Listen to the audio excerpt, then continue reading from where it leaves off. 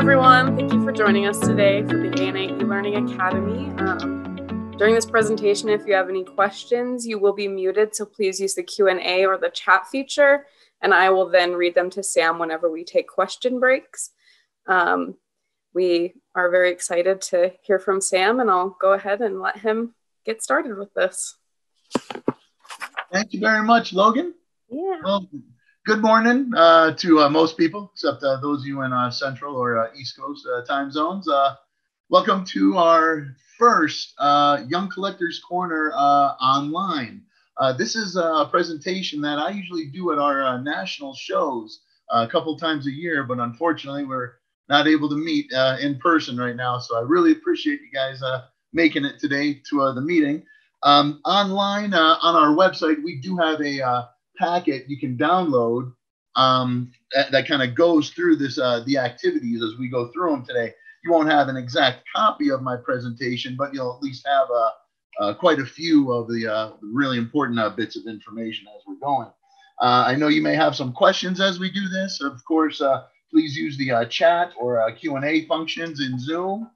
we will be taking some breaks today, of course, um, a, a few times. It's a very long presentation. So without uh, any further delay, uh, just uh, let's get started with this. So, first of all, um, what we're going to be doing in this program today, um, and it, it is going to be a lot of information. Uh, so I do apologize about that beforehand, uh, which is why we'll be taking many breaks. So uh, please uh, try and stay with us. Um, if for some reason you need to take a break, um, most of you are at home. You can do that on your own. So, what we're going to be doing today, everyone, uh, first of all, is we're going to be talking about the basics of the hobby that we're all here to discuss numismatics. It's the fancy way of saying coin collecting. We're going to uh, talk about how coins are made, uh, the different parts of a coin. There's a lot of them. Uh, same with paper money. So, we'll be doing that as well. Uh, we'll talk about the different terms used to describe coins um, as well as grades or the overall conditions. That's a very important part of being a good coin collector is knowing how to properly evaluate coins. Uh, it's important also to know how to handle them and store them properly. So we'll be discussing that. Uh, we'll also uh, talk about coin reference books, magazines, and of course, websites. Um, we'll also learn about different coin denominations. That's a fancy way of saying the amount. And uh, the different design types of coins. Uh, uh, primarily the ones we have for the United States.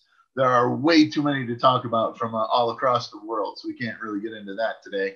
And uh, mostly what we're going to be doing is just talking about coins, paper money, and really uh, just to have a good time. And uh, of course, we're here to learn.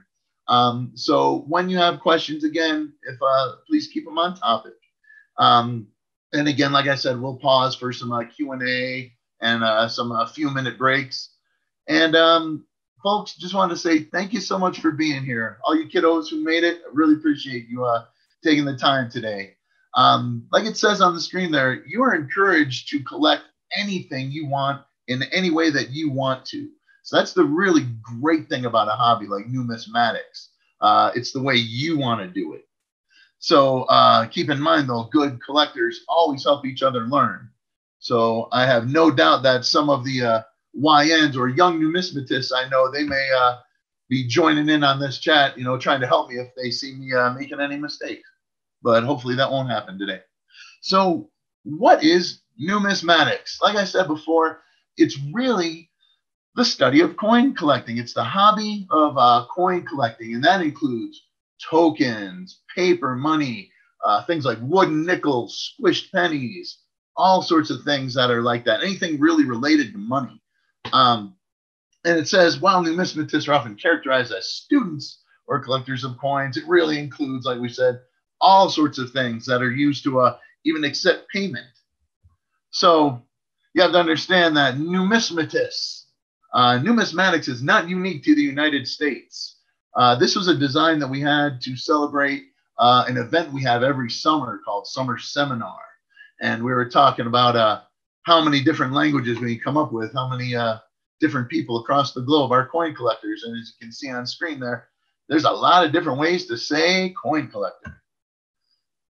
So let's get right into this. So, money. Um, now, this is really not a question we'll be answering live together, but why do we really need money in this life? And you have to first of all think, well, what is money?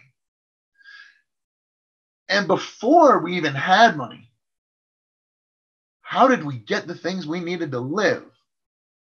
So, really, I mean, there were no stores. You couldn't just uh, run to the Walmart or the Target.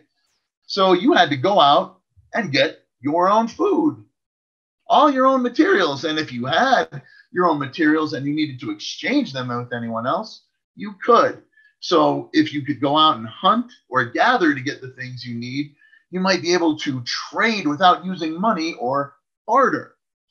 So, bartering is trading um, or exchanging goods or services for other goods and services without really using what we call money nowadays.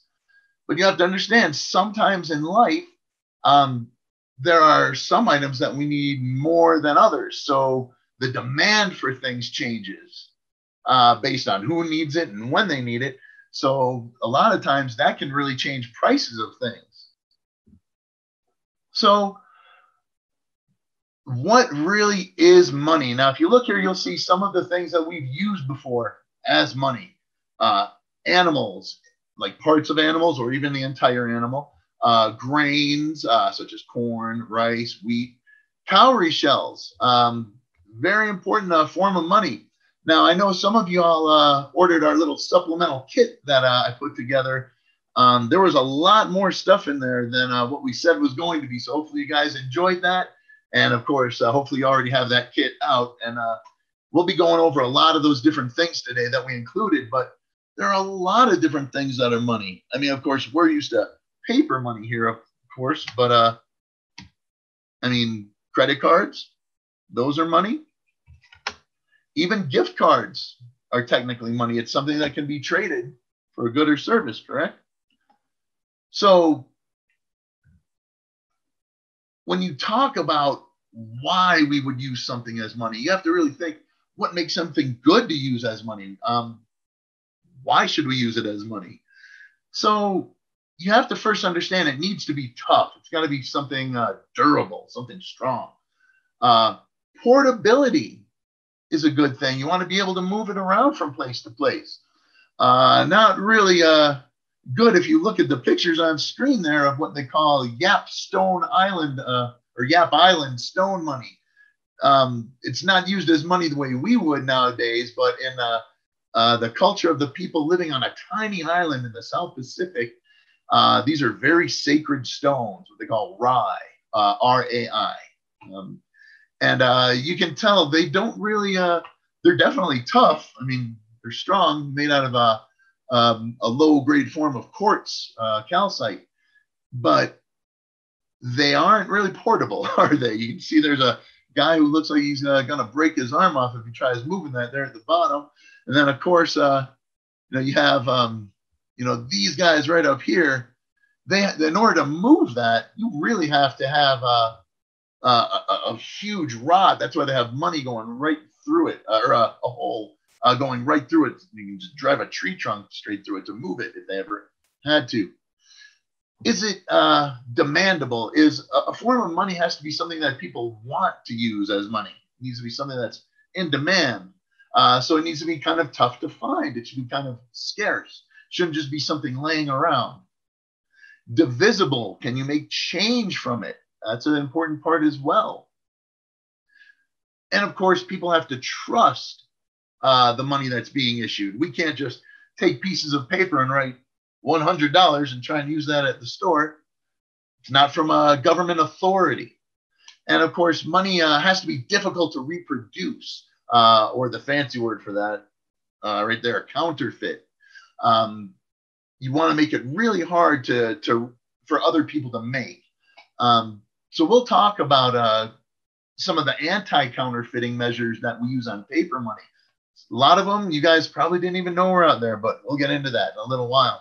But when we're talking about how a government has to authorize or give the uh, the power to make money, it has to be uh, what we call legal tender. Now, if you are a scout, and we'll talk about this again a little bit later for scouts, Uh, we're going to have a follow up meeting next Saturday at the same time uh, to go over the merit badge requirements. Uh, I apologize if I didn't mention that earlier. But like I was saying before, one of the uh, merit badge requirements for scouts is uh, you de- do need to know what legal tender means. Now, on your uh, paper uh, banknotes uh, that we have here in the United States, you have the obligation or what they call the legal tender clause. Uh, legal tender means it's a medium of payment or a form of payment that's recognized um, to meet an obligation, something that you can use to buy and sell things. So this is kind of strange, but there are coins that are made that could be spent as money, but they're not really designed to. You can see some of them on the screen right there. Um, these are some of them are what they call collector coins, and they're really nice. Um, that one down here in the bottom right is a huge piece of uh, gold uh, that um, you can see it takes a few guys to actually move right there. That's actually um, from 2007. It's a $1 million face value Canadian gold uh, coin.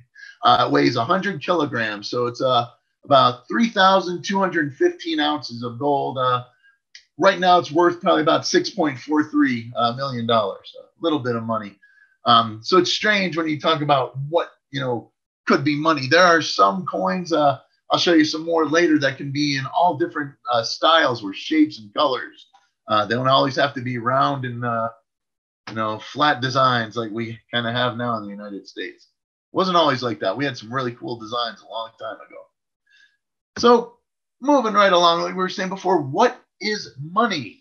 I mean, candy. Could candy be considered money? Well, maybe you could buy and sell or trade it with other people. Could a bicycle or feathers be considered money? What about a teddy bear? What about gold bricks? And of course, we always talk about gold as being very valuable. And really, um, you have to understand when the metals that we uh, get to make money come from what we call ores or rocks that have metals inside of them. We have to crush them up, uh, refine them, of course, and then melt them down.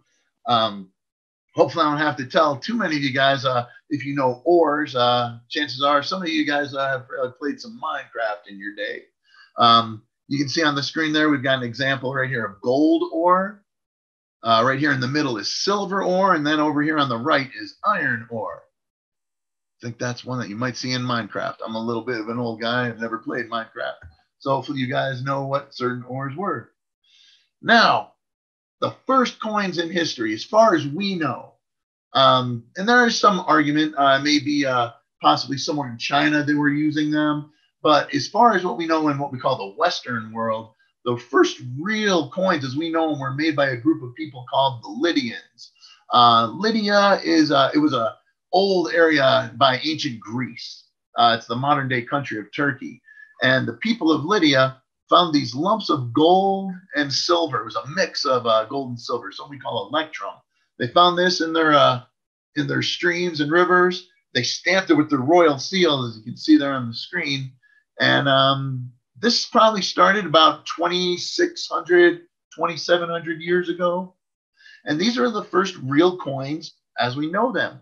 As time goes on, they realize that gold is a, a bit rarer of a metal to find than silver. Uh, at around that time, probably about 16 times more rare than silver. So they start making coins more of pure gold and then pure silver as time goes on. So when you talk about the first paper money in world history. Um, you notice I have paper in quotes there because we'll talk a little bit more. Uh, your paper is not really made of real paper uh, like the stuff we write on nowadays. So we'll talk about that a little bit later as well, what it's really made out of. But the first paper in uh, per, uh, first paper money in world history that we talk about is developed in China during the time of a family that ruled called the Tang. Uh, in the Tang Dynasty, uh, this was a family in power from about the year 618 to 907. So we're talking well over a thousand years ago. Um, they had to do this because there was not enough metal uh, to make coins for everyone.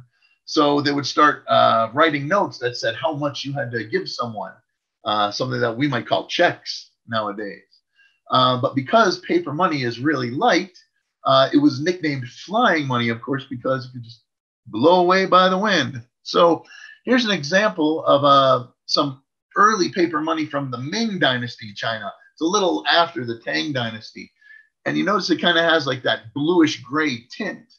Um, that's actually because it was made of mulberry bark. Mulberry is a very, uh, um, well, it's a tree that's all around China quite a bit. Uh, if you're familiar with silk or silkworms, and you may have heard of mulberry before.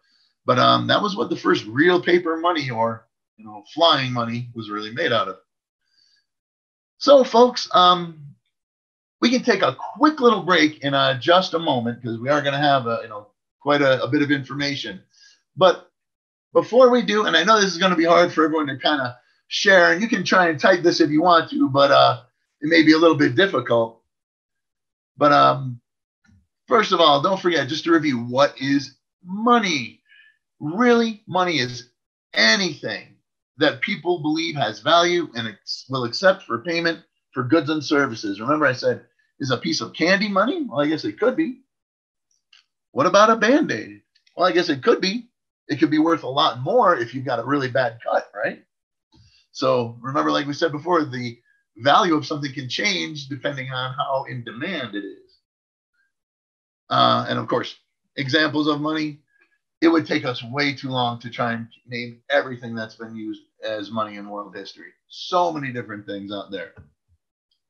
So, how did we get the items we need to live before the invention of money? Remember, if you, you couldn't go to the store, you had to go out and hunt it, you had to go out and gather it, and of course, bartering, trading without using uh, money. Remember, we said there are certain things that make something useful as a uh, form of money. We want it to be tough. We want it to be something that can be carried place to place. It should be something that's demandable, something that's you know, worthwhile to have as money. Uh, it should have divisible units, or you should be able to make change for it. And we have that in America, of course. Um, trusted. Why do we think it should be worth something? With our money, it's really because the government says so. Uh, and it should be tough to counterfeit as well. You don't want anyone just making their own money in their garage, right? Or their basement. So, guys, um, I guess what we could do is some of you will probably have some questions. If you needed to uh, run, uh, take a break for about five minutes, uh, we'll be coming back in about five. But, um, Logan, I uh, suppose if we uh, had any uh, questions uh, that people wanted to get to before we move on.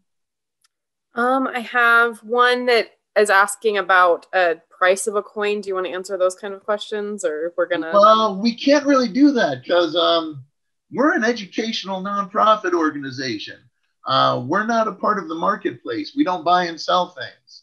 Uh, we do have a lot of beautiful coins on display in our museum, and some of them we know are worth millions of dollars um, but we can't really establish prices for coins. So uh, on our website, money.org, um, at the very top of the screen where it says find a dealer, if you click on that, it'll open our dealer directory. Uh, please find a dealer nearby you and they can help uh, establish prices. It's uh, pretty tricky. I mean, I know you can look online, but be careful what you see. Uh, there are some things I might tell you, yes, a penny from 1971 is worth $28,000 but ignore. So yeah, don't always pay attention to that. But yeah, unfortunately, we can't really provide uh, values for most coins. Um, but just know that if you're talking about wheat cents, most of them are worth about two or three cents a piece, and uh, that's about the basics we can give you right now as far as money is concerned. Okay, thank you. And next, um, somebody said you mentioned next Saturday's BSA Merit Badge worksheet session. What time does it start, and how long do you expect it to go? Excellent question. It'll start at the same time as this meeting uh, on the 21st. Uh, so next Saturday at 11 a.m. Uh, Mountain Time. Um, we'll uh, at the end of this meeting, I'm going to go over the requirements that we covered and the ones that you'll need to do on your own uh, before we meet again. Uh, a lot of the ones that the scouts will need to do on their own, um, you could probably figure out if you look at the CCMB requirements. Um, some of the ones from requirements number five uh, six, seven, nine, and 10. Um, for the virtual exhibits uh, that we have online, uh, uh, they could uh, satisfy requirement number 10. Um, there are a lot of different uh, virtual uh, exhibits, not just for our money museum, but also for the Bureau of Engraving and Printing, the US Mint, uh, the Federal Reserve. So there's lots of ways you can meet requirement number 10 right now. So, but again, we'll review all of these at the very end, uh, just because this meeting isn't primarily for scouts alone. So this for any uh, young uh, kiddo out there who wants to learn about money. But hopefully there are going to be some scouts who will be joining us next weekend uh, to do this. Uh, we'll also talk with uh, Girl Scouts who are interested in the Fun with Money patch that we have available exclusively here at the ANA. Um, all of this information is available on the ANA website too under Young Numismatist Resources. Uh, if you just click on the uh, little tile or app for Scouts. So uh, should be uh, all posted right there. Perfect. And then someone asked, were these things used as money because they were hard to get? I'm assuming though. Yes, yeah. Back then, uh, seashells weren't necessarily just uh, um, laying on uh, all over the beach. Cowrie shells, some of them were, but uh, for a lot of other items, you know, you had to really uh, work hard to get. For example, one of my favorite uh, objects we have as money in the Money Museum here in Colorado Springs is we have a bracelet made out of the tail hair of an elephant. And you might think, well, why would something like that have value? And you have to ask yourself, well, how hard do you think it was to get the tail hair of an elephant without making them really angry? So there's lots of things. I mean, there's beautiful feathers that people have thought were uh, useful as money. Um, when you talk about certain native tribes in certain places in South America, in Africa, uh, in in Asia, and hey, even here in uh, uh, North America, and especially Central America, for sure. So, uh, Logan, any other uh, questions we had there? Yeah. So, um, somebody wanted to know if you could go back to the legal tender slide so that they could see it again. I could probably well, well, legal tender. Um, yeah, it's gonna be a little tricky. Let me see if I can. Uh, I'll have to stop uh, the share on this real quick uh, so I can get to that. Um, yeah, let me uh, see if I can uh, get that slide up here. It'll uh, take me just a second. And then uh, could you answer another question while you're looking for yeah, it? Yeah, absolutely. Sure. Okay. Does platinum come from ore? Platinum absolutely does come from ore. Yes. Um, a lot of platinum. Yeah, it's usually a, a, a lot of what they call the PGMs or platinum group metals are usually found together. Um, usually we'll find uh, platinum, palladium, rhodium. Uh, a lot of the those heavier metals are uh, usually found together um, uh, and usually along with nickel as well. Um, pretty tough to find, but uh, I'm sorry, I'm just trying to make sure I can uh, get this on the screen here. But unfortunately, while I'm trying to get that on the screen, it won't really let me uh, share. Um, it's I mean, I, I, can share that uh, legal tender, um, the definition one more time. Uh, it's just real tricky to try and go back and into the That's presentation right now. I apologize to no, uh, you're fine. asking that question, but legal tender, um, it's a medium of payment or a form of payment that's recognized by a government to be valid for meeting a financial obligation. It means that a government has given permission for that item to be used as money in that country. Hopefully uh, that answered uh, the question a bit uh, better there. All right, I'm gonna. All right, I think that's all of the questions we have right now. So. Okay. All right. Okay. Sorry, I'm gonna. Yeah, unfortunately, I just realized it's not really uh, letting me go back into the presentation uh, too easily. So, uh, yeah, um, I apologize about that, guys. It's just it's hard hard to stop the show once we've uh, got the ball rolling. Um, I mean, of course, we've all been using Zoom for decades, so you know we're experts at it now. Thank you, Corona. All right, so let's get back to sharing the screen where we were. All right, so we're back uh, with that uh, square, shared screen. Logan, we're good. Yep, you're good. Awesome, thank you. All right, guys. So moving right along, we're going to get into, all right, you let's end this break. Oop, come on. There we go. All right, break over. Okay, so now our lesson on coinatomy. Now, uh, kind of a mashup of a word, coins and anatomy. Uh, hopefully, some of you know that anatomy is pretty much the study of the parts of the body. You know, we all have many different parts that make us. There are many different parts that make up a coin. Now, this is uh, one screen that I have uh, in my presentation. You all uh, will have this uh, in your packet if you downloaded that packet or the uh, program guide that we have. So you can tell if you look right there on the screen, there are many different parts of a coin. You see all the different arrows and pointing to all these different places. So if you have this, if you downloaded the program guide, make sure you have this out right now as we go through the uh, different parts of a coin. So first of all, let's talk about the uh, the date. Now, of course, that usually tells you when a coin was minted or made. Um, not always. I mean, there are sometimes they made coins in America uh, within a year or two different. Uh, I mean, the mint is a gigantic factory where they make our coins.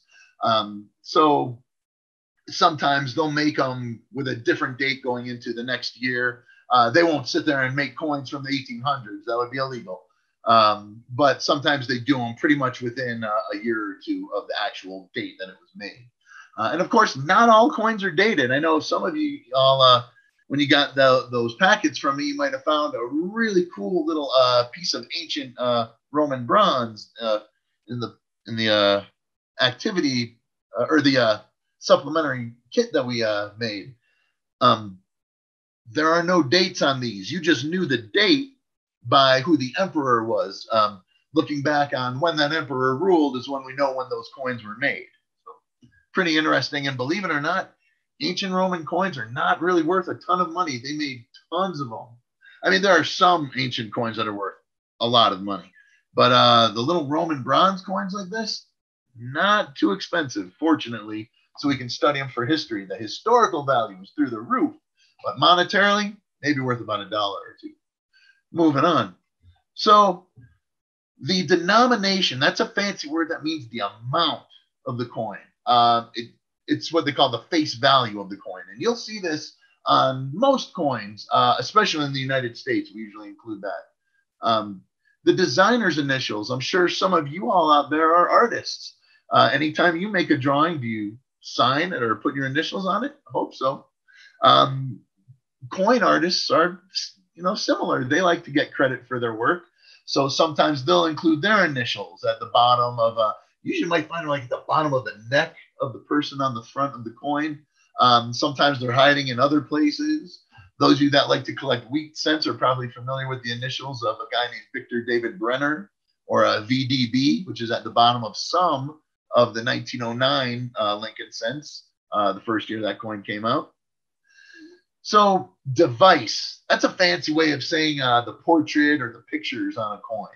Uh, it's the main image. Um, there's also there may be other images as well, but the, uh, the there's like the main device a lot of times on a coin. Uh, with most United States coins on the front of the coin, or what we'll learn in, in, just a moment here, that proper term. Um, usually it's uh, the picture of a person, and that's like the main device, that picture. The edge. Now, this is one of a, uh, a very important part to understand about a coin. The edge is really what we call the third side of a coin. Um, one of my favorite questions to ask people all the time is, how many sides are there on a coin? Of course, you know, you've got this one that you can see. There's that one, and we'll talk about these in a little bit. You guys are probably thinking they're heads and tails. That's not correct. But then the third side, the edge. We'll talk about the edges of coins a little bit later. So that's a Morgan dollar from my uh, personal collection. I've had that since I was about 10 years old. So anyway, um, the edge is the third side of the coin. It could be smooth, it could have reeds, uh, it could be engraved with words, stars, or letters. We'll talk about that a little later. Field. Now, that's a pretty easy one to understand. A field is blank, there's nothing there. It's the flat area of a coin. It hasn't been raised, it hasn't been struck into, it's just completely flat. The legend. Legend is another way of saying uh, words or the inscription on a coin. Um, it tells uh, information like where a coin might be from, which is kind of an important thing. Mint mark. Now, this is a tiny little letter, and we'll get into this in just a little bit. Uh, mint marks are tiny letters that tell you where a coin was made or minted. Uh, a lot of times people will uh, ask us coin questions here at the ANA and they say, Yeah, I've got a really strange coin. It looks like it was misprinted. And I always tell them, Well, it's not really a coin then because paper is printed, but coins are minted. So we'll talk about these little letters that you'll see on coins in uh, just a little while.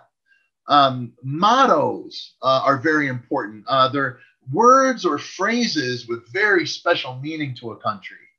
Um, for example, uh, on the, in the United States, we've got some great mottos. Liberty, that's one of my favorite ones. We've had that on our coins going back to the 1700s.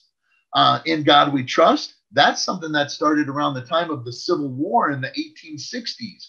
Very scary time in American history, if you haven't studied it already. And then, of course, uh, another important one, e pluribus unum, which is Latin for out of many, one. It means like all out of all these many people that we have here from all these different places, we're one nation together. Now, the obverse, that's a fancy word I was waiting for because obverse is really the, the way to say the heads side of a coin. Um, you can still say heads, and we'll talk a little in a little while why we call that the heads side of a coin. Um, of course, you can see on the back the reverse, and that's a pretty easy one to understand. So three sides to a coin, obverse, oh, sorry, obverse, reverse, and the edge. Now, relief, um, of course, we use that uh, in different ways when we're not talking about coins, but relief is pretty much how high up off the surface of the, the field does the design come for a coin. So it's the raised or the bumpy portion of the design that sticks up higher than the field. Uh, the rim, rim is a pretty tricky part. I'll try and explain this in a little while.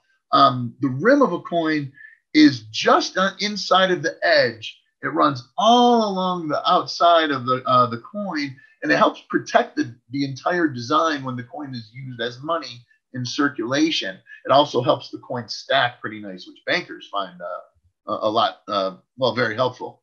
So remember, we said we'll discuss why we say heads and tails. Now, this is one of my favorite ancient coins in world history. This is from the ancient Greek city state of Athens, which is actually now the capital of the country of Greece.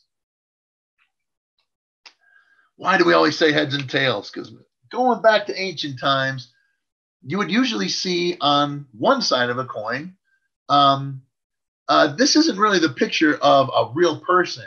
Uh, this is a representation. If you've studied Greek mythology, um, back when people used to focus on more than one god, many, many gods and goddesses, um, this is Athena. Uh, she is the protector of the city state of Athens the goddess of wisdom. Uh, and if you remember, you're Winnie the Pooh. Remember the smart person in the forest, the smart one in the forest? Mr. Owl. Owls, of course, have been uh, a symbol of wisdom, uh, as you can tell there, since ancient times. So her patron animal is on the reverse, the uh, the beloved owl, which is my uh, college mascot, Florida Atlantic University. And of course, you can see right down there the uh, um, abbreviation for the uh, Greek uh, city state Athens.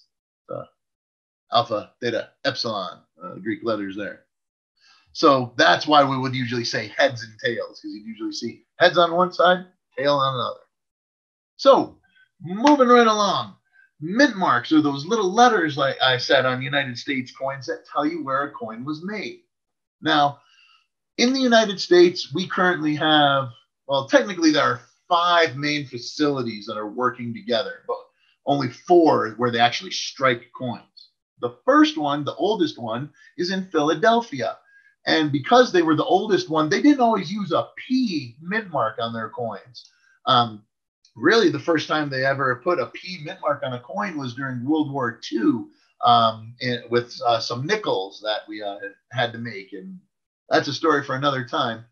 Um, then the next mint that we had after that was actually in San Francisco uh, because there was a big gold rush that went out to uh, California um, in the uh, late 1840s, and then they needed money out there, so they couldn't just keep having the mint in Philadelphia make money for them. They had to have money being struck right there in San Francisco. Um, of course, there were other gold strikes as well in history, and that's why there have been other mints, and we'll talk about those in just a moment. Um, if you uh, so the coins from San Francisco will have a little S mint mark on them. Uh, nowadays, they make coins uh, that we call proof coins. Um, and again, if you ordered one of those uh, supplementary uh, kits that I was mailing out to people, uh, you got a 2019 proof set. Uh, don't crack those coins out of that holder. Leave them in there. They'll uh, stay in good shape that way. So if you look on those coins, you'll notice an S mint mark on every single one of them. The Philadelphia Mint that we mentioned before, they make coins for everyone who lives on the east coast of the United States. Uh, pretty much everyone on the eastern half of the nation. The Denver Mint, signified by a D mint mark, they make coins for everyone on the western half of the United States. And uh, that mint, uh, which is about an hour north of us here in Colorado Springs, uh, they started in 1906. Uh, before that, they were a gold assay office uh, during the uh, Pikes Peak gold rush of the 1850s. But then there's another mint in New York. you may have heard of West Point if you're familiar with the Army Academy. Um, but they are also uh, responsible for keeping our nation's silver secure. Um, I'm sure some of you have heard of Fort Knox, where they keep our gold.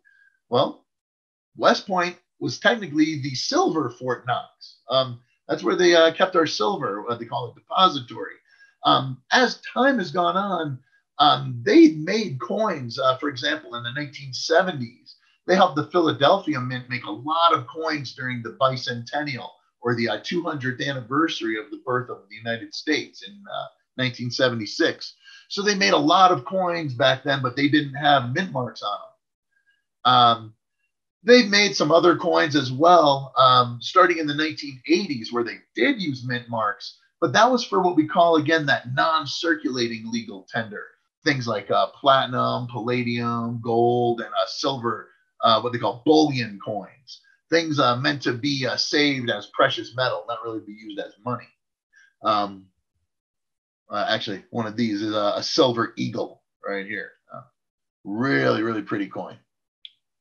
So the West Point Mint, uh, they usually don't make coins for circulation with mint marks, but then um, we found out in Pittsburgh last year at a coin show, the mint director told us uh, pretty much on April 1st. So I thought he might have been kidding around.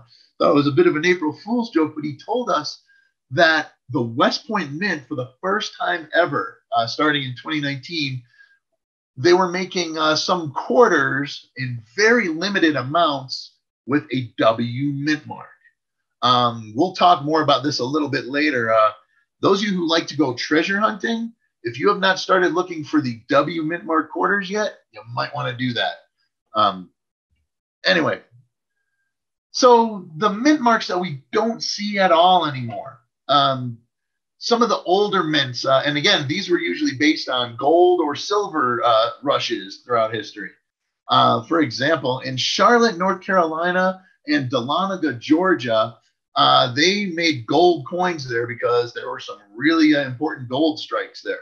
Um, I've actually been to Dahlonega to go panning for gold there uh, I drove past uh, parts of uh, the old Reed Mint there in uh, North Carolina. So uh, pretty interesting to see those places. Uh, you can actually go pan for gold there nowadays in parts of Georgia and North Carolina. Really pretty stuff that comes out of the ground there. Um, there's um, there was a mint in Carson City that made coins, only gold and silver coins, for a very short while in the late 1800s. Uh, and they it's the only mint that had two letters. Uh, it's a C and a C. Uh, how we said before, Charlotte was just one C. And it's weird too because you notice D for Dahlonega. Well, how do we not confuse that with Denver? Well, it's easy because the Denver mint didn't start till 1906. Dahlonega, they do not make coins after 1861. Same with Charlotte because of the uh, United States Civil War that was going on. Um, and those Dahlonega coins uh, from 1861 are worth a very small fortune. Um, and then another mint that you don't see anymore was down in New Orleans um, with the O mint mark. I don't know why they didn't use an N or an NO, but they just went with O. So moving right along, of course, here is a picture of our five current U.S. Mint facilities. Now, in the top left corner, pardon me, in the top left corner here, you can see a, a picture of the old U.S. Mint in Philadelphia. Down here in the lower left is a picture of the old Granite Lady, kind of at dusk, uh, right there. Uh, really pretty picture in San Francisco. Then if you come up top diagonal there uh, to the top right, that is a picture of the Denver Mint. That's amazing too with the close up. You see that big steel gate going across. Even the windows uh, still have steel gates across them. It's a huge stone building. I mean, a mint facility has to be very secure. You don't want anyone getting in there and taking our money. It could really destroy the nation's economy. And then, of course, there's the uh, picture down here in the lower right of the West Point Mint in uh, New York. But then in the middle here, yeah, that is the West Point Mint. Or, or I'm not the West Point Mint. This is Fort Knox, right in the middle. Um, it's amazing. Look at how secure this facility is. Uh, you see that big, huge white fence going across on the outside. There's even another fence outside there on the perimeter there, out by the woods. I wouldn't doubt if there's a minefield here in this big grassy area. Another fence, another field, another fence, another field, a moat of water, and then the huge building. Really tough to get into. I mean, if that's where we're going to store most of the gold in America, feel good about it and sleep good at night because it looks like it's pretty safe. So, everyone, I hope you have crayons or colored pencils handy. And I sincerely apologize for not mentioning that earlier. But I'm sure most of you kiddos probably have these around, uh, not too far away. So at this time, this is the interactive part of the presentation where you will need to get, well, maybe just the six colors that we have are there on the screen red, blue, green, purple, orange, and yellow. Now, based on what we were just going over for the different parts of a coin, and you can use uh, that parts of a coin uh, sheet that we uh, have in the program guide as your guide as you go through this. That's fine. That's not cheating. That's learning. That's fine. You're just learning this concept. So you can have that sheet out as you're doing this uh, coloring sheet. So I want you to take a couple minutes and I'll want you to follow the six instructions that are on there. The field, color that portion red the device. Remember what we said the device was the main picture. Color that part blue. The denomination. Hopefully, remember what that is. I'm not going to mention it. The denomination, color that part green. The legend. And again, if you don't remember, you can go back into that uh, where it, it, shows, you know, that little glossary of parts of a coin. Uh, color the legend purple. The rim, I want to see that orange. And then the motto needs to be yellow. So, guys, I will let y'all uh, do this. Uh, Logan, uh, if you want, we can try and answer some questions uh, at this time while we're doing this. This is kind of a little bit more of a flexible portion. We're going to do this activity, and then we'll do another fun activity that you will need pencils for. So, hopefully, some of you all got the pencils that we sent you in those program kits. Um, please have it sharpened if you didn't do so already. So, yeah, Logan, if we had any other uh, questions right now, we could uh, answer those while uh, the kiddos are coloring. Yeah, I just want to remind you guys we're only going to be taking breaks to send questions, so you'll have to be patient with me with that. So don't get too pushy. We'll we'll get your questions. But uh, the first one was, what is the date of the coin you were showing? They're referring to the Greek coin that you showed for the heads and tails slide. Excellent question. Yeah, that's um, a good date. I'd probably say uh, just shy of a 500 BC, probably around 480 BC. So yeah, definitely about 2,500 years old. Very old coin. Um, if you're wondering how you can get one for yourself, um, one of them that looked that nice that we were showing, probably a few hundred dollars. There are a lot of really good ancient uh, coin dealers out there. Uh, one of the best uh, that you could probably contact would be Harlan J. Berk in uh, Chicago. Uh, he helped sponsor our ancient coin project that we, that we have here for YNs. And I'll talk about that toward the end of the presentation. But um, yeah, you can find those uh, um, ancient Athenian tetradrachms. The CH is kind of silent. Yeah, it's a tetradrachm or a four dram coin. Very, very cool piece of silver. And then somebody asks where we can find the packet. If you go up to the chat, up all the way to the top, I linked it. And at the bottom of that page I linked, you can download a PDF with all the packet in it. And then another one, didn't the Carson City Mint make a few 19, 1894 coins as well? Was a question. I really have to double check. I don't remember off the top of my head. I know that they didn't make silver dollars that year. So uh, I'd have to look. Uh, unfortunately, as a teacher, I can't really afford many Carson City coins in my collection, so therefore I haven't studied them as much as others. Um, but I know for a fact there are no silver dollars 1894. Um, they may have made other gold coins, um, but I, it doesn't sound right. I, I, um, I, guess I could look in our red book. Speaking of which, those of you who uh, actually did get the uh, supplementary kit from us, uh, you got a very cool edition of the Red Book. Um, this is something that was uh, really uh, put out by uh, NGC uh, uh, Grading Company, or the, the one that you guys got. This is a different one I have from uh, 2017. I think you guys got even a better one from uh, uh, that NGC, uh, Numismatic Guaranty Corporation. A really good company for getting coins uh, graded and professionally certified. Um, but we'll talk about that a little bit later. Um, think that's all the questions for right now. That's all we had for now. Okay. Um, I know everyone colors at different speeds, and uh, if you didn't finish this, that's okay. You can always come back to another time. But uh, I guess we should uh, go on to the reveal to see if you guys got this right. So hopefully, what you guys did looks something similar to this. Um, again, that orange part that might be one of the hardest things for you guys to understand uh, Logan, I don't know if you can tell me, uh, can you see the arrow as I'm uh, doing it on the share screen here? Yes, I can. Okay, good. I know there's a laser pointer function in uh, Zoom here, but it, uh, or in PowerPoint, but it doesn't really work as well um, because it's PowerPoint trying to translate to Zoom and then upload it, so it takes too long. So I'll just use uh, the little arrow right here. If you can see where I'm pointing to right here, all, all you guys, that orange part, that's what we call the rim. It's just on the inside. It's on each side of the coin. It's on the obverse and reverse. It's not the edge. It's just before you get to the edge on both sides of the coin. So that might be the trickiest part to understand. Um, the motto on this side of the coin is E pluribus unum. The legend would be United States of America. The denomination, again, remember denomination tells you the amount. So five cents at the bottom there should be green. If you did everything that looks like that, good job. So now, this is always a very fun activity. I don't know how many of you guys have ever done coin rubbings before. And um, if this is the first time you do it, chances are it will not be the last because it's kind of fun, uh, really fun activity to do.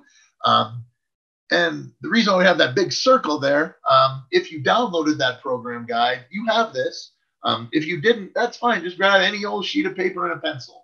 Now, the really tricky part about doing a rubbing for coins is I know ordinarily when we uh, write on paper, you know, you're writing straight up and down. But when you're doing a coin rubbing, you're you're taking the coin and putting it underneath the sheet of paper, and then you're gently holding the pencil sideways and kind of just rubbing it like that to get the design to come up. So hopefully y'all have a grown up or someone older around uh, who can help you figure out how to do this. Um, but take a couple minutes. Uh, hopefully you guys have some coins laying around with you right now. If you ordered our supplementary kit, you did get a couple coins. Take any one of those coins and uh, lay it flat on the on the desk or the table where you are. And again, remember, hold the pencil sideways. I always think it's good technique when you're doing a coin rubbing to hold the pencil like this and go back and forth over the paper like that instead of up and down. So while you guys are doing this uh, coin rubbing activity, hopefully you saw the uh, other coin uh, rubbings that are on the screen here, some samples. you can see uh, up here, um, there's one kiddo who uh, did one with uh, crayons. And the, the trick, if you're going to use crayons, even with pencil too, you want to go very lightly over the paper. You just barely want to touch the paper uh, with the pencil or the crayon. Um, you can see right here, someone got really creative and made, uh, they, they took a tree outline and made all the uh, little leaves look like coins right there. So I thought that was kind of cool. Or make the coins look like leaves. And then over here on the right, someone has way too much time on their hands. And they did a rubbing of a bunch of different coins from all around the world. Yeah, I'm seeing coins from France, Jamaica, England, Germany, Denmark, Australia. Very cool stuff. Russia, Ireland. Yeah. So uh, coin rubbing is a lot of fun if you've never done it. So figured we'd put that out there, and let you guys know about another fun activity today. So we will uh, kind of take another break while you guys are finishing up that coin rubbing, or if you need to go back and finish up that uh, the um the uh, parts of a coin, a little diagram of the buffalo nickel that we were doing. Um, so Logan, I don't know if there are any questions just yet, but I wanted to ask you a couple questions before we uh, got there, if that was okay. Okay, perfect. Cool. Well, actually, I guess we can get to those in just a little. Uh, if someone had questions, yeah, I'll, ask my questions uh, when we come back in a couple of minutes. But um, uh, so there was one somebody asked something about um, saying they didn't want to damage their coin with rubbing. Is there any possibility of that happening? Not really. Uh, the is not gonna. I mean, if you just you know drew on the coin with your pencil, yeah, you're gonna have pencil marks on the coin, and yeah, you could rub those off. But I don't recommend doing that. Um, it, the paper is gonna um, protect the coin. It's not really gonna damage your coin. Uh, I would not do this with one of the proof coins you got in that set. Um, um, the set uh, some of you guys got from us. Yeah, don't crack the coins out of there and do rubbings of proof coins. That will scratch the coin. Yeah, proof coins have to be uh, kept in those uh, in the hard plastic containers that they come in because you don't want to risk uh, damaging uh, surfaces of those because they're a really high quality uh, finish on uh, proof coins. And then Walt Ostromecki, one of our past presidents, is on the meeting today, and he says no coins were struck at the Carson City Mint in 19, 1894. The mint ceased operations at the end of 1893. So we have that answer now. If anyone is going to know about Carson City coins, I was going to mention it earlier, but I didn't want to call them out. Thank you, Walter. Um, yeah, um, anyone who is a scout in California has probably heard the name uh, Dr. Walter Ostromecki, one of our uh, greatest uh, past presidents of the ANA. Uh, I knew he'd be on the uh, meeting today, so hopefully uh, he won't beat me up too bad for all the things I messed up in private later. Uh, tell me He how, said you were doing a great job in the chat. he so. is the best liar I know. That is a thank you. Thanks so much. So uh, Um, yeah, figured. Uh, yeah, were there any other questions right now? Somebody had? asked what the proof set was for. We just sent that out for the people who purchased the. for it, it, collecting. Yeah, that's exactly- yeah, I mean, you can send them back to me. Um, send them addressed to Sam Gelberd at the ANA and uh, with a note that, hey, Sam, this is for your collection. No, no, guys, I mean, you can tell uh, I've got one, but um, no, we wanted you all to have one. We had a very generous dealer last year donate a bunch of these. Um, there was a special uh, uh, Lincoln cent that was issued from the West Point Mint, and he just wanted that penny. He just wanted that Lincoln cent for himself. Uh, so he bought thousands of these sets just to get those uh, Lincoln cents. And he said, "Well, I don't need all those coins." So he gave them to the ANA. He said, "Give them to the kiddos." So that's what we're doing. So hopefully, uh, you guys uh, already got one of those from us. So. I think that's all of the questions I have. For Okay. now. All right, not a problem. Yeah, I'm just uh, throwing some random quotes up there on the screen, so uh, hopefully you guys will see them. Uh, we'll be back in uh, just a minute or two. I know uh, some other people are uh, going to be back uh, momentarily. We'll let them finish doing what they're doing. I know some of you guys are probably having fun doing coin rubbing. 'cause I hope those are coming out nice right now. So I'm actually going to uh, let you guys get back to that. Um, when we come back in just a couple minutes, I will ask uh, if anyone has any other uh, questions. So uh, I'm not, uh, yeah, I guess we could have mute that as well. But guys, uh, we'll be back shortly. Okay, everyone. So I hope everyone's uh, had a chance to take a little break there. Again, I know there's a lot of information. Just wait, there's a lot more coming. Um, again, if you need to take a break at any time, go right ahead. We'll be here. Um, if you did wind up missing something, I believe we're going to be recording this and it'll probably be archived in our uh, ANA e-learning academy uh, videos. So not to worry.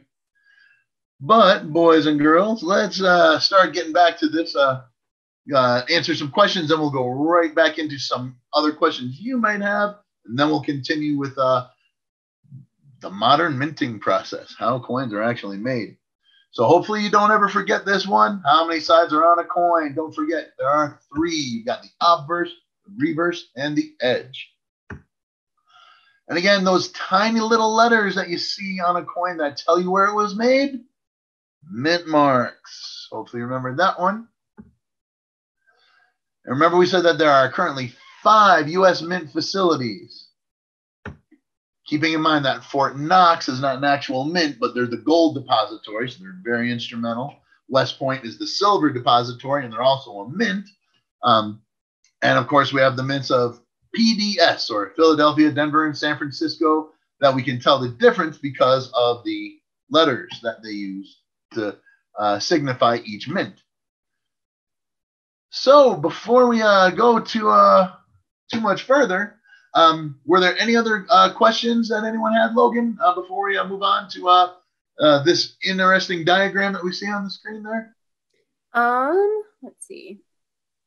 Are coins from certain mints rarer than coins from other mints? Oh yeah, absolutely. Um, in fact, when we were just talking a little bit ago about the Carson City Mint, um, they made a, a lot less coins than uh, some of the other mints at the same uh, in, in the same year. Uh, the Philadelphia Mint uh, traditionally uh, around those times was making more coins because there were more people that lived uh, in the eastern half of the United States back in the 1800s. We were still going through what we called westward expansion, where everyone was still coming out west. So they didn't need as many coins in places like San Francisco, Carson City. Um, and then, of course, you know, where the gold strikes were for Dahlonega and Charlotte, some of those coins are very, very rare. Um, yeah, we can't even get into how uh, expensive some of those are and yeah, and of course, uh, like we were talking before about uh, one of the uh, world's best scout masters or uh, merit badge counselors, uh, Walter Ostromecki. He, I know, is uh, a huge fan of, I believe, uh, $10 Eagles from the Carson City Mint. Probably the best collection out there of those coins. So, and then one more. Why did they make seven or so 1943 pennies? Why did they? They made actually uh, closer uh, they made over a billion 1943 Lincoln cents. They're probably referring to the copper ones, not the steel ones. The steel ones, yeah, those are everywhere and uh, only worth a few cents each. But there were some leftover blanks from 1942 uh, that were the traditional bronze or copper planchets that got mixed into the press in 1943. Um, we actually estimate that there's probably closer to about 20 or so, maybe a, a little bit more than that a fair estimate, all things considered, is I would say there's probably 20 to 40 of them that we know about. Um, it is the number one question we get here on a daily basis at the ANA. Um, people will call us saying, hey, I found a 1943 silver penny in my change. Um, not realizing that it's not silver because uh, these uh, steel uh, 1943 cents uh, actually uh, do uh, stick to a magnet It's the only magnetic United States coin that we've ever really made. And of course, um, I mean, you mentioned it, so I may as well tell you. Um, I, I, I, do in my possession. I'll have to take it out of this to to really show you guys because um, I wasn't going to mention it, but you, someone mentioned 1943. So, um, yeah, the the uh, I don't know how that's uh, showing up on the screen, Logan, but uh, you can see, you, you see the date. Uh, you can't see the date unless I huh. they can. Uh, I'm trying to zoom out. It's a 1943 copper. Very rare. If only it were real. Yeah, uh, there are some people who've uh, copper plated uh, the steel ones, so watch out for that. Um, the uh, genuine copper ones will weigh 3.1 grams. Uh, the steel ones only weigh 2.7 grams. So that's one good way of telling right there. So, okay. Yeah, interesting question. Yeah, very popular coin. That's that's all the questions we've okay. got for right now. So awesome. All right. So we'll just get right back into it then, boys and girls. So you'll see this slide a few different times in this presentation. If you have this out, uh, if you have that packet that you downloaded, uh, you may want to keep this uh, sheet uh, handy as we go through this because the process to make coins is very tricky. Um, but you have to understand before any of this uh, mechanical stuff can happen, it really has to start with the human touch, the artist. Um, someone has to have an idea for designs for coins. Um, and you can see here some very uh, important uh, Mint employees. Uh, down in the lower left, I'm not quite sure whose arm this is making a design with uh, Abraham Lincoln right there, our 16th president. Uh, but right here is uh, a Mint engraver, Frank Gasparro. You can tell he's actually making designs for the half dollar in 1964, right after President John F. Kennedy was shot in late 1963.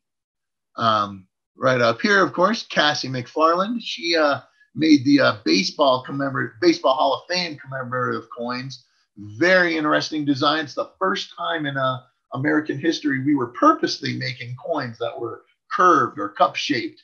Very cool design uh, that uh, Ms. McFarland made because the obverse um, is a baseball design and then the reverse is like a glove. Uh, so it's concave and it looks like it could catch a ball. Really, really cool concept. Um, and of course, down at the bottom there, Don Everhart, another very important uh, designer and engraver. But it's important to know that all coin designs start off as usually drawings, um, the idea of an artist. Uh, you can tell, like we showed here in the lower left, as time has gone on, we're using computer uh, software to really help uh, make coin designs. That's why we can get some really, really intricate or really tricky designs nowadays. But when you talk about coins, now this is a, we could teach classes on this and talk to you for many days uh, about how coins are really made. But the long story short today is that from those designs, they transfer, you can tell right here where there, there's something tracing over uh, the plaster design that was engraved.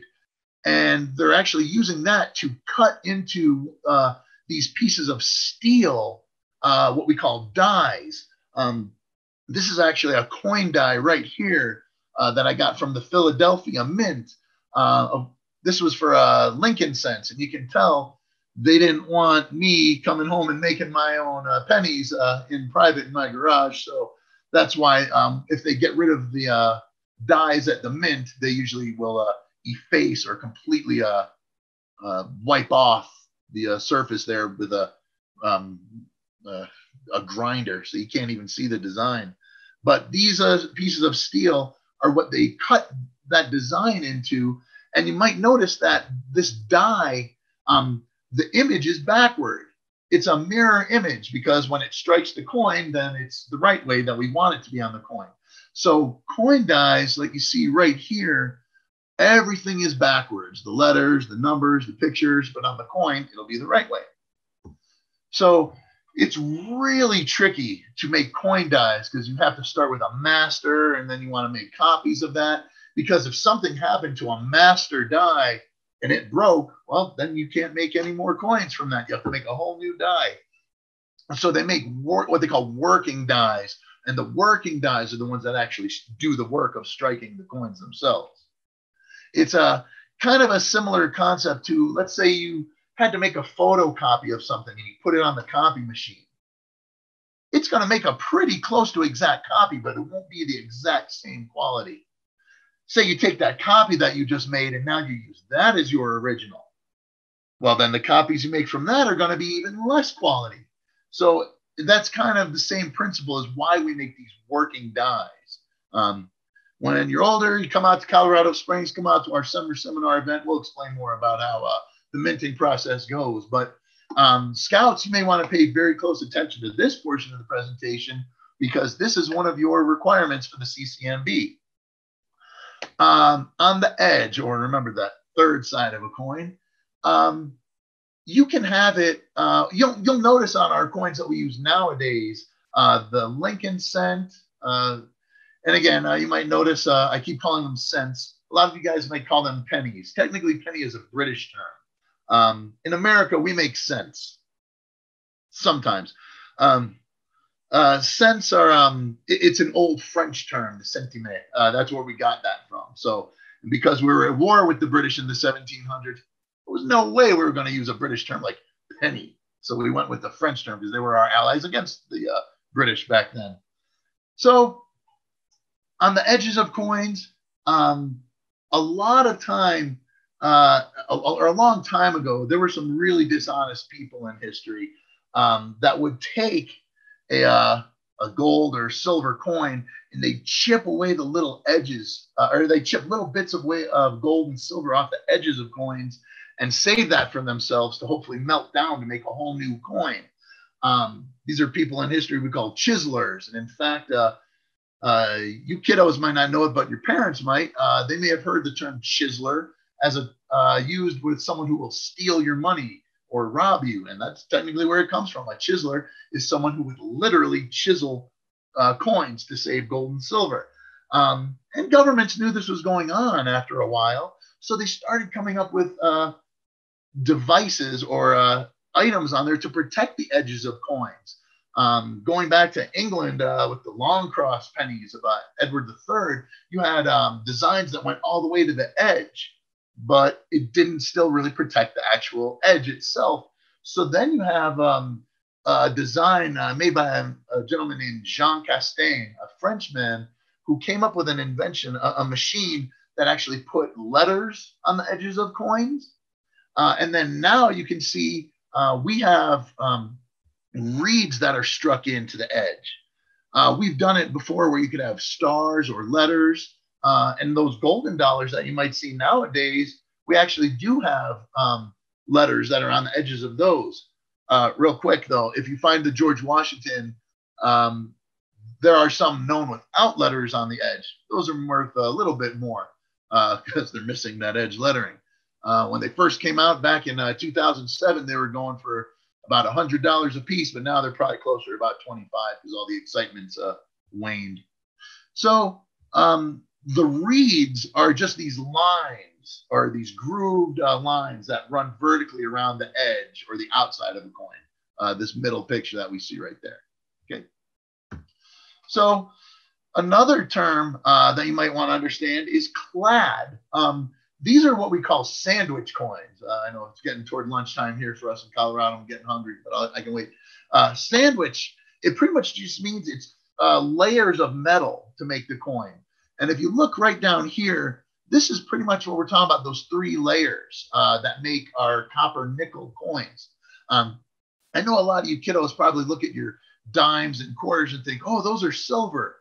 Well, guys, unless they're dated 1964 and earlier, they are not silver. They're these clad sandwich coins. It's a, a pretty much they take uh, a layer of pure copper, and on either side they sandwich it with a mix of copper and nickel, and they run it through these huge uh, rollers to press it really, really tight uh, to where it actually becomes fused together.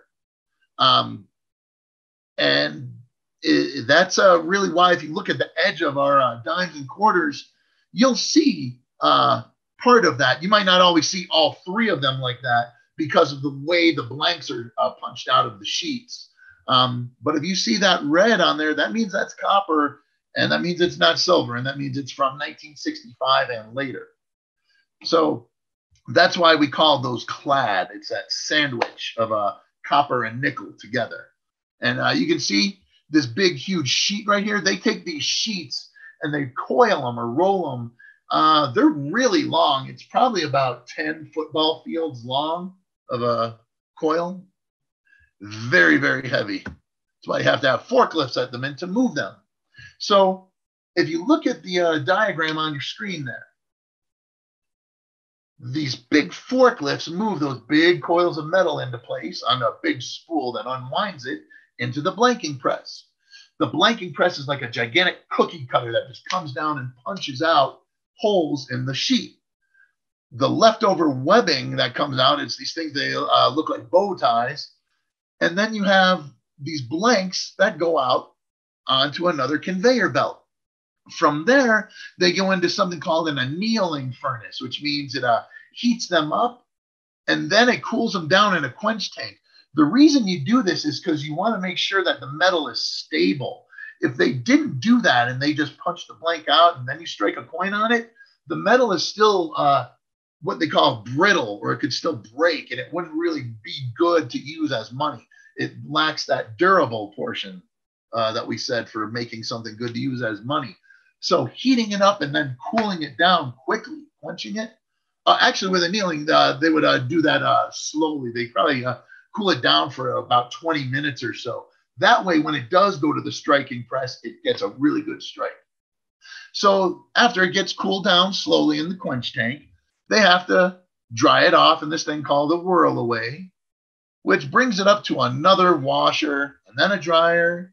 And then it goes on to something called an upsetting mill. And in the upsetting mill, the blank magically becomes what we call a planchet. Now, those of you who ordered those uh, kits from us, you got a planchet in that kit.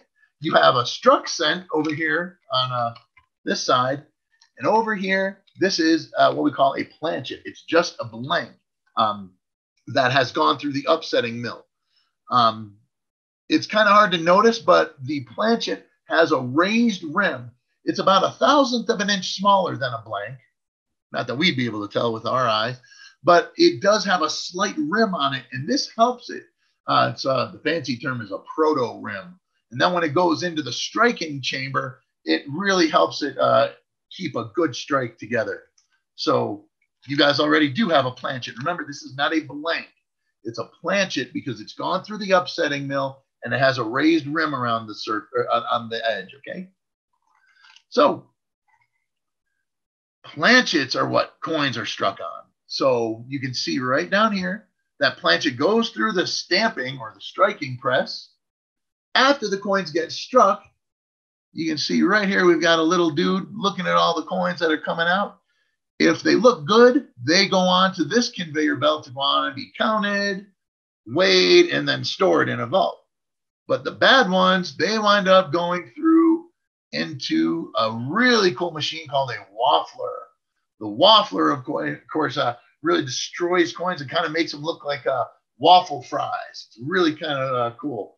Um, but that way they think, well, people can't use it as money. And then it goes on to be scrapped and then recycled to be turned into to new sheets to be uh, to start the process all over again.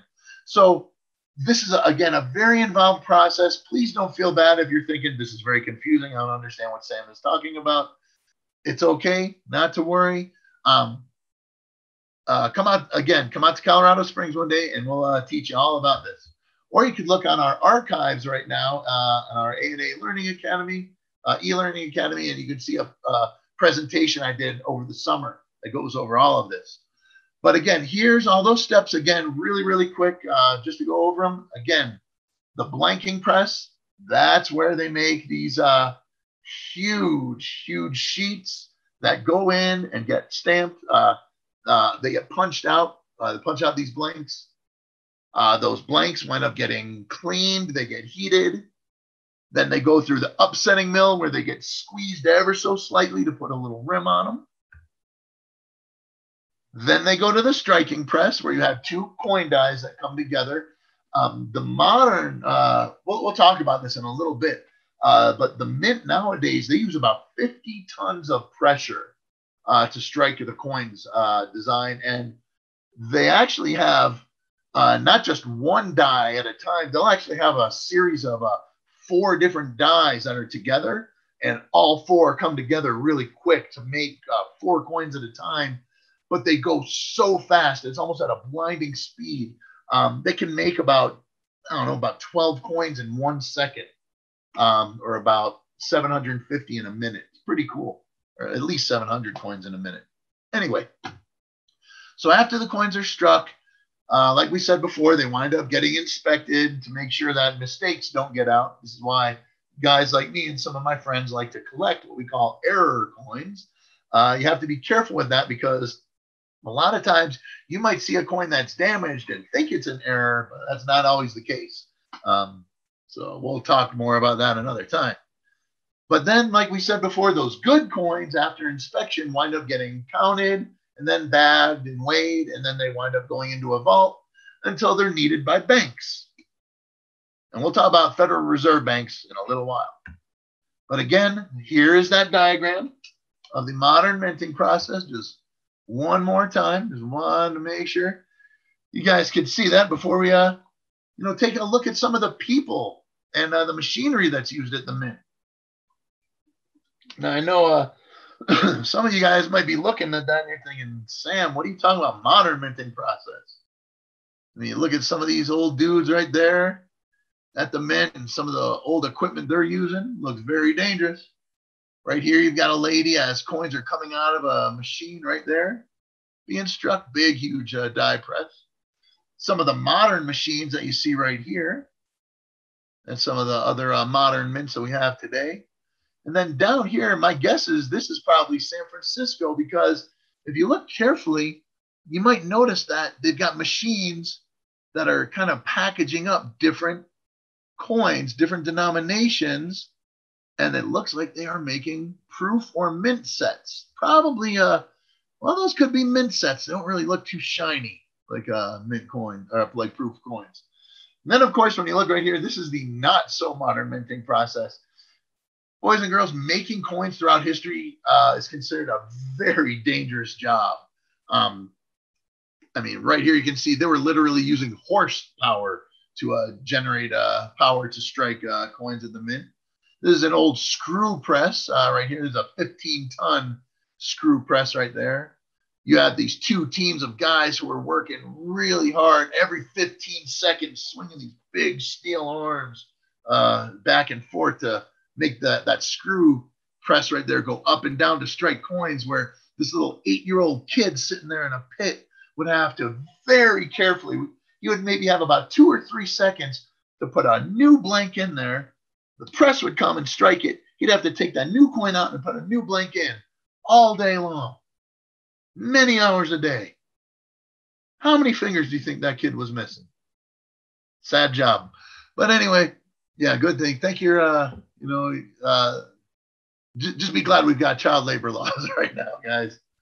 So you can see, yeah, some really old ways of making coins. I mean, back in ancient times, you could see they actually had to take coin dies and uh, hold them in their hand like this and actually use a hammer to hit them. Uh, very, very dangerous work. But uh, we don't have too much time to get into error coins. But a lot of times people think, well, how do you value error coins? Well, the value a lot of times comes from what we call the wow factor. Like when you look at a coin, does it really make you just say, oh my goodness, look at that thing? That is crazy. I want it. Um, all of these coins I wouldn't turn down in my collection. Um, I mean, you've got something right here we call a blowout, where there's actually a hole in the sheet that uh, was run through the blanking press. That happens. Um, yeah, here's an even bigger hole right here. That thing looks like you can almost use it as a paper clip, that penny from 1970. Over here, this is a pretty common error. It's uh, what they call a clip or uh, a, a, clipped planchet. Um, unfortunately, when that blanking press is striking uh, or um, it's punching out blanks, sometimes it goes over a hole that was already punched out, and so you only get a partial blank produced. And then it wind up striking a coin on it. This down here is a really cool one. That's a, believe it or not, a really old denomination, a 20 cent piece. We only made those for a little while in the 1870s. Um, and yes, some of those were made in Carson City. Uh, San Francisco is a bit more common, but seems weird to say common when you talk about a 20 cent piece because they're all really hard to find no matter what mint they're from. But this is a, what they call a laminated planchet where the metal just didn't, uh, wasn't poured correctly. And uh, as a result, um, after the coin was struck, it kind of peeled like a clam uh, opening up. So that's what they call a clamshell lamination. Very hard uh, error to find. And then right here in the middle, uh, this was a Lincoln cent. Well, it was at least, I uh, don't have a full date, but we know it was at least from 1959 uh, because that was when they started making the Lincoln Memorial cent reverse, uh, 50 years after the Lincoln cent was first made, starting in 1909. Yeah, really cool how it's just uh, made on a struck uh, fragment like that. Really strange. We could sit here and just look at error coins all day. Uh, one of my favorite things. That thing you see in the middle there is what they call a bonded cluster, where uh, blanks just kept getting fed in and they weren't getting ejected, so it just kept piling up and make this big, huge uh, cluster of cents. That's probably about 19 cents face value right there, probably about 19 different uh, planchets that were fed into the machine to make that. But oh my goodness, yeah, you find things like that, they are worth a lot of money. You have to ask yourself, how did they get out of the mint? But story for another time. Um, right here, uh, gigantic error we call a cud. This Big blob looks like a cow's cud. Uh, they've been chewing on that just landed on the coin. Uh, that's from when uh, part of a die just breaks off. And You have most of the design on there, but the other part of the design just looks kind of like a blob because metal was missing. Um, really fun error over here from the Lincoln Memorial cents. They used to call these prisoner pennies because the bars uh, from the columns on the uh, Lincoln Memorial kind of make Abe Lincoln look like he's in prison. Um, this is a half dollar that got struck off centered. Uh, unfortunately, when the planchet got fed into the, the press, they usually get struck, you know, solid, like, you know, pretty straight on. But apparently this one, it got struck, you know, just off center. So that's why half the design is missing on that one. And then down here, these are errors. You guys could probably find one of these today if you have a pile of change at home. It's not a very valuable error. They're kind of common, but it shows a big crack in the die. And if it was on the die as a crack, it's going to be a raised line on the coin. So look on sometimes on your coins, like look toward where the rim is and going on to the inside, it might look like uh, lightning bolts. See a big one there, and you see an even smaller one right here. If you guys look at that, this tiny little crack that's starting. And the more a die like that is used, each coin it strikes, that crack is going to get bigger and bigger and bigger and bigger until it just shatters. Um, that's why they have mint inspectors there, right there on the line when coins are struck. Because if they catch, you know, things from or mistakes, that are happening on the line, they can stop the press and try to make sure those error coins don't get out. Now you know why error coins are worth a lot of money. So look very carefully at your coins, uh, and that kind of stuff, because there's some really strange things going on. Okay, guys, before I let you take a break, uh, I'm going to ask you a couple questions, and then I'll uh, let you take a couple minutes. So again, what do we call the round metal discs without rims that are punched out of those long metal sheets that go into the blanking press. They are not planchets. The blanks. Planchets are the blanks that have gone through the upsetting mill and have that tiny little uh, rim on them. Uh, here's a picture to kind of help you guys understand. Uh, on the left right here, there's a, a blow up uh, picture of a, a blank. If you notice, it is just completely flat all the way across from edge to edge, completely flat. Now this is a planchet, and you can tell because you can see the shadow right there. You can see there's a tiny raised rim where it goes up all along the edge. You see how it's a little bit lighter in color there? That's because of the way the metal is bending up toward the edge there. Just to let you know, there's just the tiniest little rim on that. So that's ready to get a strike. Uh, that's ready to get a blow from the dies in a striking press. So hopefully you guys understand the difference between a blank and a planchet. So moving right along. Don't forget, what do we call those lines on the edges of a dime and a quarter? I mean, we could see letters, there could be stars, could be numbers, but those lines are called reeds. And how do those reeds get there? They're struck by what we call a collar. Um, when the obverse and reverse dies come together to strike a coin, at the exact same time, you have what's called a retaining collar that comes in. And those lines are on the inside of those retaining collars. And that's how those lines get put onto the edge. Um, if you didn't have a retaining collar come around the, the edge of a coin at the same time as the dies come together, you get what's called a broad strike, where the metal kind of squishes out like a pancake a little bit. So that's why you really want to keep uh, that retaining collar to help strike the third side of the coin. It's almost like a die in a lot of ways. So, getting out, oh, apologize. Um, we'll talk about this one in just a little bit. But uh, Logan, before we move on, um, were there any other questions from the audience? Yes, so we have a few. Uh, why? There's always a couple mint... questions with minting. I don't know why that happened. why did the mint put a date or mint mark over another date or mint mark with the die? Oh, that's a really tricky one. Now, sometimes, well, well, first of all, you have to understand that the U.S. Mint is a branch of the Treasury Department of the United States. They're always trying to do what they can to save taxpayers money. We're the ones who fund that, right? That's where the money comes from. So, in order to try and save money over the years, they will try and do certain things to save materials, to conserve uh, certain coin dies. Um, they usually make a certain amount of coin dies for every year. But if they haven't used them, well, you can't really just throw it out. Why would you do that? maybe they could just kind of change the last digit on a die. So they may do that. Um, sometimes dies had to be transported from one branch mint to another. See, way back in the day, Philadelphia used to make all the dies for all the mints and ship them to those mints. So let's say the Denver Mint had plenty of D mints, uh, or uh, you know, plenty of uh, um, dies with a D mint mark on them but San Francisco is having a shortage and they don't have enough.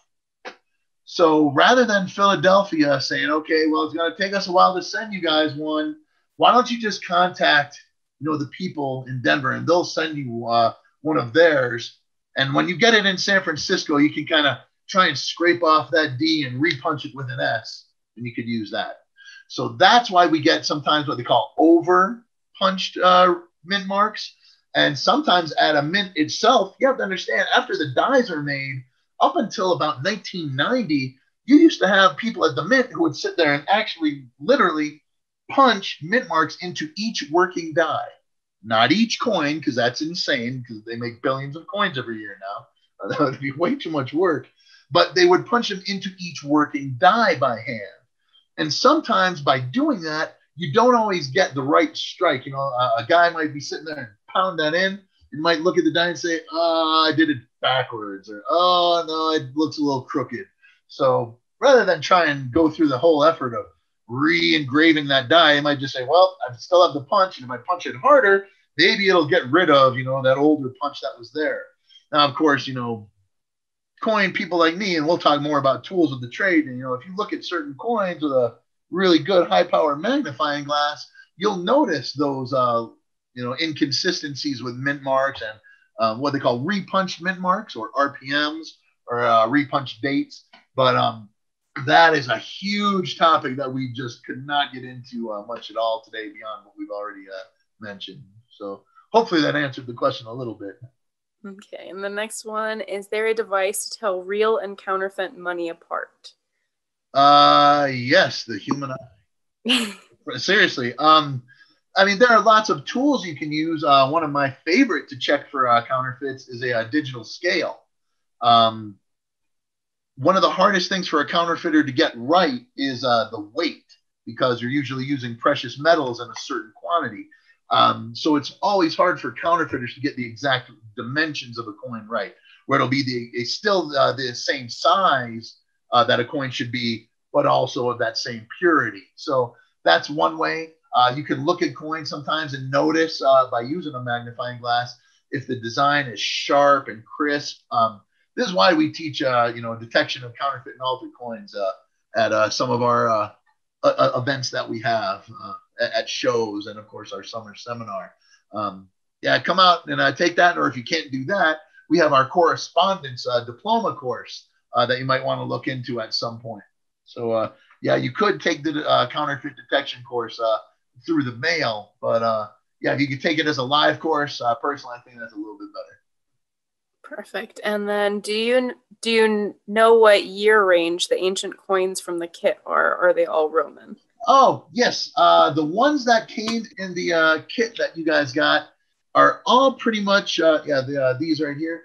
Um, most of the ones uh, the ones you guys have probably aren't as detailed as uh, this one, um, but almost all of the uh, ancients uh, that I included in the kits were from the mid fourth century A.D. or uh, right around uh, I'd say around the years 330 to 350 or so. Um, a lot of them have uh, sons of Constantine the Great, uh, the Christian emperor. He was the guy who made Christianity a very popular religion in the Roman Empire. And uh, without him, it probably wouldn't even be a popular religion to this day, some might argue.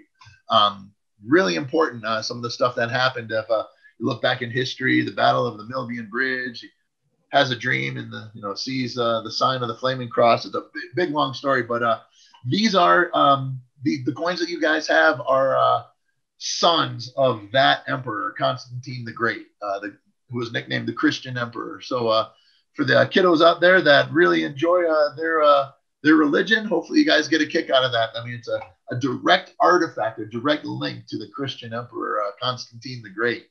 Um, again, you have to understand the ancient Romans made so many coins, so they're not tremendously valuable. Again, most coin dealers might sell those uh, little ancient Roman coins for a couple of bucks, uh, just because there's so many of them. But really cool stuff, nevertheless. Um, I'd like to remind everyone that we we can't answer any um, value questions because we are not a grading company. We're an educational organization, so uh, we appreciate you asking, but we, we can't answer those. Um, the next one is destroying money legal. Um, well, it, it, depends on how they mean. If they're talking about uh, for example, I mean, I don't want to do it right now. I've done it many times before uh, in classes I've taught where I've shown kids, hey, want to make half dollars at home and not get in trouble? Rip in half.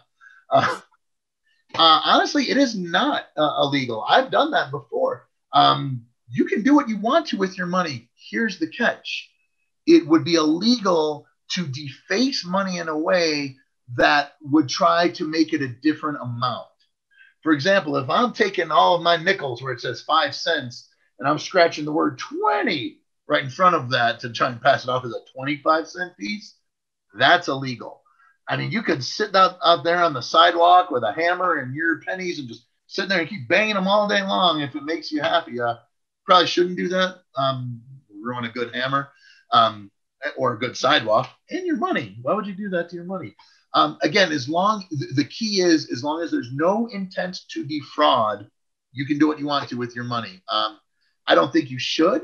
Um, it is, uh, I believe, uh, it may still be on the books. I know back in 2006, uh, there was a law that was passed that you can't really melt down U.S. Uh, coins because we were having a coin shortage, um, or, or, not so much a shortage, but uh, the um, prices of uh, copper and nickel were going up way high to the point where even now, nowadays, it costs more to make the penny and the nickel than their face value. Uh, it was really weird to hear a mint uh, di- uh, director tell me in 2006 that by making money, we're losing money. Really strange, losing money because we're making money. So that's why there's a lot of talk of, hey, we need to get rid of the penny I'm not going to get into that argument here, but you guys can think about it if you want. And the next question Do mints have different lines for each denomination or do they change the presses? Oh, that's a good question. Um, they might for the the pennies or the cents because they make billions of those every year. Those machines are probably dedicated to just making cents, and those are going like all day, every day, all the time. The other denominations, they do make millions of those, hundreds of millions, uh, sometimes into the billions, like for the state quarters. But it doesn't necessarily mean that uh, they might not just change out the dies. Uh, all you really have to do uh, a lot of times is just change the actual die and you can put it in the same press. Uh, so that's a pretty good question. But chances are for the, the pennies or the Lincoln cents, those are probably just dedicated because they make so many pennies all the time that it wouldn't be worth it to change those dies out um, for different denominations. The only way they're changing dies out on those machines is when the dies get too worn uh, from striking coins. Good question. Perfect. And then isn't the 1985 cent a Brockage error? Which Um, it says 1985 cent. Uh, it could. Uh, was there one I showed that? Uh, I'm not. I mean, 1985 cents. That I mean, a Brockage error could happen at any time, uh, in any year. Uh, it, it, has more to do with the collar die coming around uh, the the planchet in the, the chamber, uh, and that could happen in any years. Um, I know uh, in my collection, uh, I have uh, some I think that are from the 1990s, uh, somewhere in there. I have a couple of Brockage uh, coins in my collection, but yeah, it's not just unique to any one year though. Uh, what is the rarest coin error? That's kind of hard to say. there are lots of really different ones. Um, I mean, it, technically, I could say all of them because coiners are classified as unique. Um, even off center coins that look the same, they're not going to be exactly the same. So technically, every coin error is a one off or they're all unique. Whether or not they're going to bring huge money on the secondary market is another story altogether. And whether or not it's going to give you that wow factor where you're going to look at and say, oh my God, I want that coin. So there are differences like that too. But yeah, the value or rarity, uh, value for error coins usually comes with that wow factor. When people look at and say, "Woo, that's really cool. How the heck did that happen?" Those are the ones that usually go from uh, stupid money. and then I think they're clarifying the 1985 question. They say it is one of the errors error coins you showed. You refer to it as a prison or jail cent. Oh, that might have been. Uh, you know what? Let me check. Uh, let me check right up here real quick. Uh, that one, no, that one was not a Brockage. That was a regular shot. That's what they call a die clash. I apologize if I did not mention that. Die clashes happen when um, dies come together and there's no planchet that goes in between them. I am very sorry. I just got so hung up on the excitement of seeing a prisoner penny because uh, they're kind of cool. Um, die clashes, um, the dies come smacking together under so much pressure. So if there's not a, a planchet in between them, you're going to wind up getting image transfer from one die to the other. So that's why those columns from the Lincoln Memorial showed up on the obverse. And on the reverse, you probably have part of the outline of Abe Lincoln uh, showing up on parts of the reverse as well. So no, that's not a, a, what they call a brockage where it got squished out, but that is what they call a die clash. And thank you for uh, checking me on that. I appreciate yeah. that. Um, do you have a double struck penny in your collection? Do I have a what now? A double struck penny in your collection. I don't. I might have one. I'd have to look where there was one regular strike and then another strike that was off center. I don't think I have one in my collection. We might have one. I might have one in a collection of coins I use when I teach, uh, but it's probably at my office at the ANA. So uh, yeah, it's probably in my in the ANA building about eight miles east of here. uh, last one's a little morbid. What would happen if you put your hand in a press? Um, well, the good news is you could just use that in vending machines all the time. Just be sure to just use the tip of your fingers. You can put that in as a no. um, you would um that that's an emergency room visit for sure. That's an expensive hospital stay. Uh, it's not going to be uh, outpatient. Um, uh, if you're familiar with the word excruciating, that probably comes close to what you'd experience if your hand got caught in a appointment. Stay away from. yeah, that's why I'm. yeah, it, it yeah, it, it's not fun. I'm sure. I've it's never happened to me because I'm usually very careful. We have a mini, a miniature version of a screw press mint uh, in our basement at the Money Museum, and uh, yeah, I'm always very careful not to get my fingers in there. So, uh, but you never know. One day, remember, accidents happen because you didn't plan them. So, always careful for that reason. oh yeah. All right. Well, that's all for this portion. That was it. All right. Well, hopefully, uh, you guys were able to uh, take a bit of a break there. Um, because I mentioned this question a little earlier to you guys. I wanted to see if you remembered, because now we're going to start talking about paper money. Hopefully, you remembered where we said uh, when and where the first paper money was made. Hopefully, you guys already remembered it was in China around the uh, 7th century, going into the 10th century a little bit, or the 600s into the 900s. And if you remember the ruling family at that time, give you a couple seconds, see if you remember. The Tang Dynasty. And of course, you remember uh, there was a really fun name they had for the paper money at that time because if the wind got hold of it, they would just call it flying money. So, boys and girls, moving on now to the parts of a banknote, parts of a bill. Uh, you guys might call them bills, but the technical term is banknote. So you may hear me using them interchangeably today. So the parts of a banknote. Now, first of all, our paper money is not real paper. I mean, think about it. How many of you have ever left a dollar in your wallet or, or a dollar in your pocket, goes into the laundry, mom or dad does the laundry, and you notice you've got shredded paper everywhere? Well, you don't if it's paper money. A regular piece of paper, like a napkin or a tissue, is to fall apart. But our paper money is not really paper at all. It's really crisp. Um, it actually is a mix of cotton and linen. Uh, we don't put wood pulp in our money. Um, that it, that wouldn't work out too well.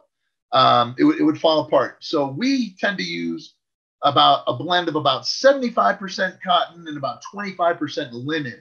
Linen is a fiber um, that's uh, it, it, comes from something called the flax plant, um, but not wood pulp. If we used wood pulp, your money would fall apart. Um, our paper money is pretty durable. You can actually fold uh, the stress tests that they use uh, at the um, BEP or Bureau of Engraving and Printing.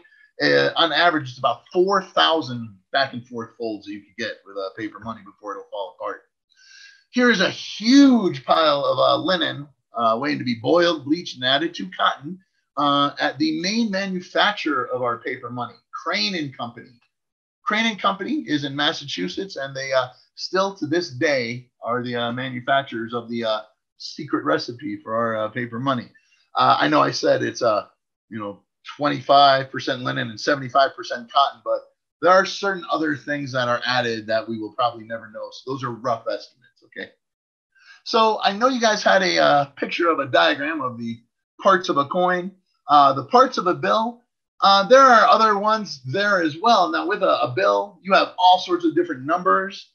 You've got, uh, you have to understand uh, a bill uh, is, or banknotes are made on huge sheets of paper. And from those, they cut them out. To know where on the sheet of paper your bill was made, you can look up at right up here what we call a position number. It tells you a letter and a number where that was on the sheet. And I'll try uh, show you another diagram that might show that a little bit later. Um, a lot of different things going on. Uh, one of the most important things you guys will notice is uh, what we call these district numbers. Let me show you right here. There's a letter uh, that refers to that number, and we'll talk about that in a little bit with uh, Federal Reserve banks. Um, these are all parts of the uh, um, requirements that you guys need to know, uh, especially if you're a scout trying to get your merit badge. Guys, give me just one moment, please. All right, so uh, rather than get really involved in a lot of the parts of the bill, you guys have this diagram. You can see a lot of them there. Serial numbers are very important. Uh, notice that they're in, uh, they're offset uh, because there's a way too tricky to get into now where you could probably cut a bill into nine pieces and then on a diagonal line to shift it so it's each uh, bill is slightly smaller. You cut into nine pieces to make 10 bills, but each one is going to be 10% smaller. Not going to get into that too much right now, but that's why they do that, why they're put diagonally that way. Um, you have the uh, seal of the Treasury of the United States. Um, and of course, we'll get into Federal Reserve numbers in a little while. Plate numbers are very important as well. Uh, they make many printing plates that uh, that are produced and put all together to make uh, a uh, a banknote. Uh, you can see at any time we also have the series and date. Uh, you've got the Secretary of the Treasury as well as the Treasurer of the United States. Um, of course, it usually tells you at the top what type of note. Uh, the notes that we have in circulation now are Federal Reserve notes. Uh, throughout history, we've used uh, gold certificates, we've used silver certificates, uh, and they've used different colors. The gold ones would use yellow, silver certificates, they use blue instead of uh, the green. So if you see a $1 bill out there and you see all this blue instead of green, look up top here and chances are it says silver certificate. And the year on there is probably going to say 1957 or earlier. So you notice how many times they say on here. They don't want us to be confused about what kind of note this is. I mean, if you just look, I mean, look at how many times they say one, one dollar, one dollar. I mean, they spell it out right here, and then on the back, one, one, really big. So they do that, you know, to make sure that you know the denomination. Uh, very important. You don't want any confusion when it comes to money. So moving right along, and again, I know uh, you scouts need to know this. So uh, those of you that are trying to earn your CCMB, when we meet next Saturday, um, these are things you're going to want to remember. Who are the people on our money? Now, these are some of the ones that most everyone should know. These are the current notes that we have circulating in America now. We don't make notes that are higher than 100 uh, anymore. We used to. Uh, of course, the $1 bill, George Washington, uh, you can see all the other different names there as well. But believe it or not, boys and girls, we made different denominations. We had a $500 bill, a thousand, a five thousand, a ten thousand, and yes, at one point even a hundred thousand dollar gold certificate. So, show some photos of these. Now, the regular denominations. I'm sure most of you guys know uh, these right here. Anyone out there know how much a two dollar bill is worth? Two hundred cents. They're not rare. You can go to the bank, you can get them today.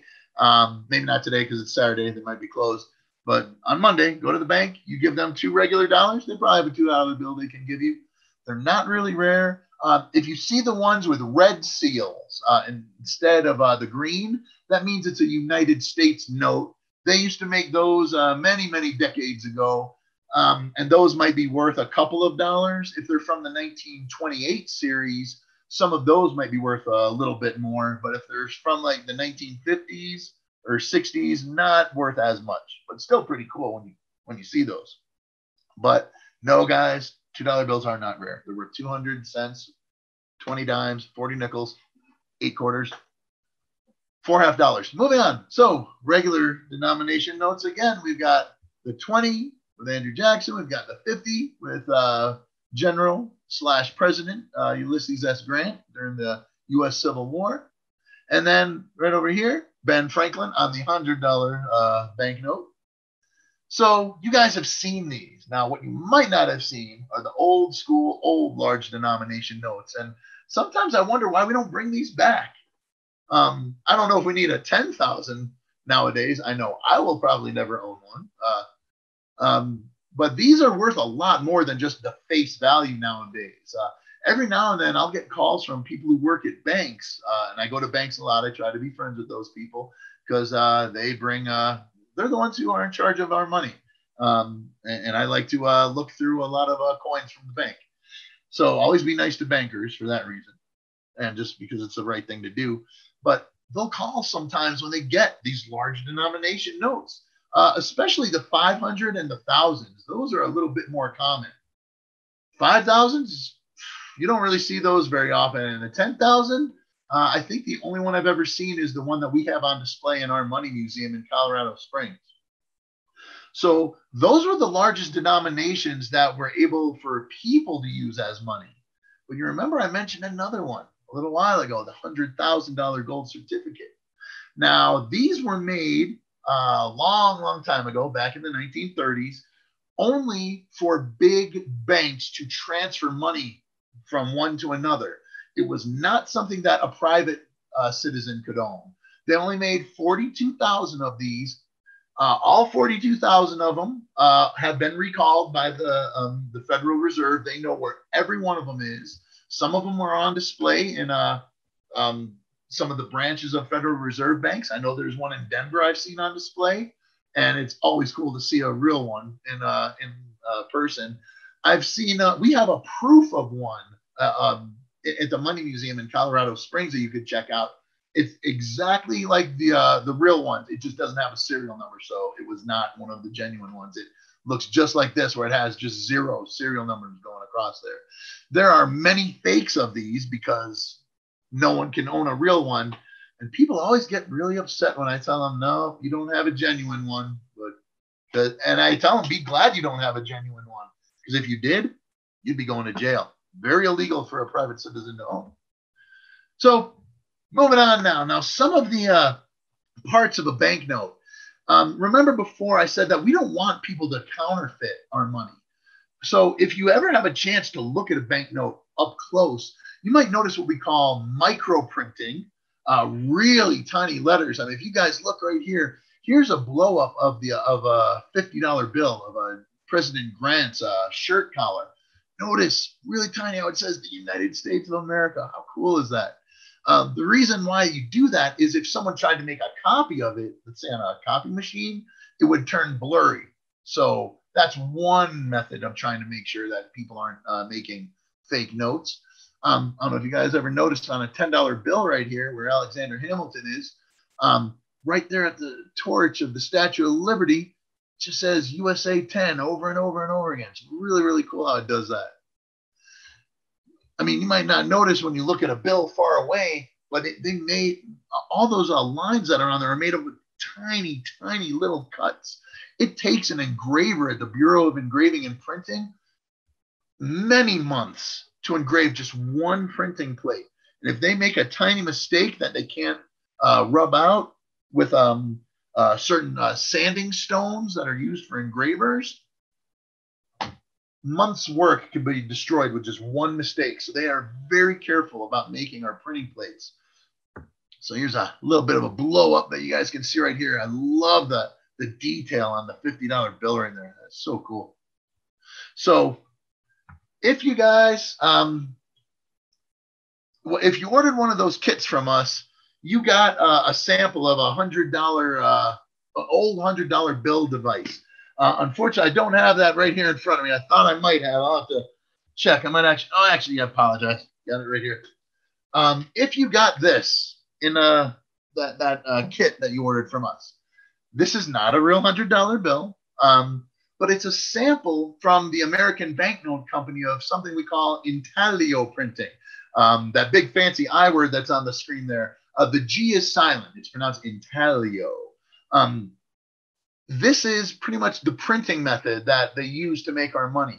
The paper is kind of pushed up into the printing plates. Uh, the printing plates you can see right here uh, on the screen there. There's a um, you know part of a uh, one dollar bill uh, printing plate there on the left side, and you see a hundred dollar uh, printing plates uh, over here on the right. See the printing plates are backwards, kind of like a coin die, and then you see hundred dollar bills being printed coming right off it right there. But a lot of times, uh, we had someone ask earlier about how do you tell if a coin is counterfeit. One of the best ways to see if a banknote is counterfeit is remember these three little words: scratch the jacket. If you guys uh, might notice, um, if you run your fingernail over this, it's really kind of bumpy. Uh, it, it, has like what we call an embossed feel. If you have a a dollar on you. You might notice it a little bit on Washington's jacket, but not so much. Um, one note that I usually notice it on a lot, of course, because we use a lot of them in America $20 bills. If you have a, a five or a higher, scratch, like just run your fingernail over the, uh, the, the president's jacket, and you'll notice you'll feel those ridges. If you don't feel those ridges, and it feels flat and lifeless, instantly you know it's fake. That's one of the best tests to see if a banknote is fake. So keep that one in mind. All right, guys. So our banknotes are made in one of two places. Remember how when we were talking about coins, we said we have mint facilities, and there's a few of them. But with banknotes, they're only really made in about two places in America. Up top here, you have the BEP, or Bureau of Engraving and Printing, in Washington, D.C. And then there is another one that is in Fort Worth, Texas. Those are the only two places where they make our paper money. So, in case you were wondering, but how do they get all that paper money to all of us? I mean, if they're only making it in two places, and I mean, if they're only making coins in a couple of places, how are they getting all these things to us? Well, glad you asked. The Federal Reserve System is how we do this. Now, all of uh, the banks in America kind of feed into this. The Federal Reserve System is the a system made up primarily of these 12 big banks. And if you look on the map there, you can see the cities where these 12 locations throughout America are. And of course, traditionally, we had more people living on the east coast of America. So that's why you see more of those black dots on the uh, eastern half of the nation. But each one of those is numbered. Each one of those numbers corresponds to a letter, the letters of the alphabet. So, for example, A is the first letter. So, the first uh, Federal Reserve Bank, Boston, is A, number one. Then the second letter of the alphabet, B. Second letter, that's New York. The third is Philadelphia. The fourth one is Cleveland, uh, or C3, and then D4. Then Richmond, Virginia, Atlanta, Georgia, Chicago, Illinois, St. Louis, Missouri, and then, of course, Minneapolis, Kansas City, Dallas, San Francisco. So, depending on where you live, the closest one, you'll usually see more of those notes than any other number. Pardon me. Out here in Colorado Springs, where I live, we see most of our notes that are from Federal Reserve District 10. So we'll see a lot of the ones with a 10 on them. We'll talk about that here. Here's the way to, to code those. Like we were saying before, it goes with different letters of the alphabet. So, for example, let's see, I've got a couple different notes here. So I said it before, I live here near District 10. So naturally, J, 10th letter of the alphabet. That's why you see the letter J there and the Federal Reserve Branch. Now, here in uh, Colorado Springs, we don't have a branch of the Federal Reserve, and we're really kind of far away from Kansas City. So there is a sub branch in Denver. There is a smaller branch of the branch of the Federal Reserve in Denver. So the way that these things work is the banks across America will usually tell these other bigger banks when they need money. These big Federal Reserve banks are the ones that distribute the money that is printed by the Bureau of Engraving and Printing, as well as the coins that the United States Mint produces. This is how the money is sent out to those places. The bigger banks send them to the smaller banks, and then those small banks send them to even smaller banks where we usually go to get our money directly.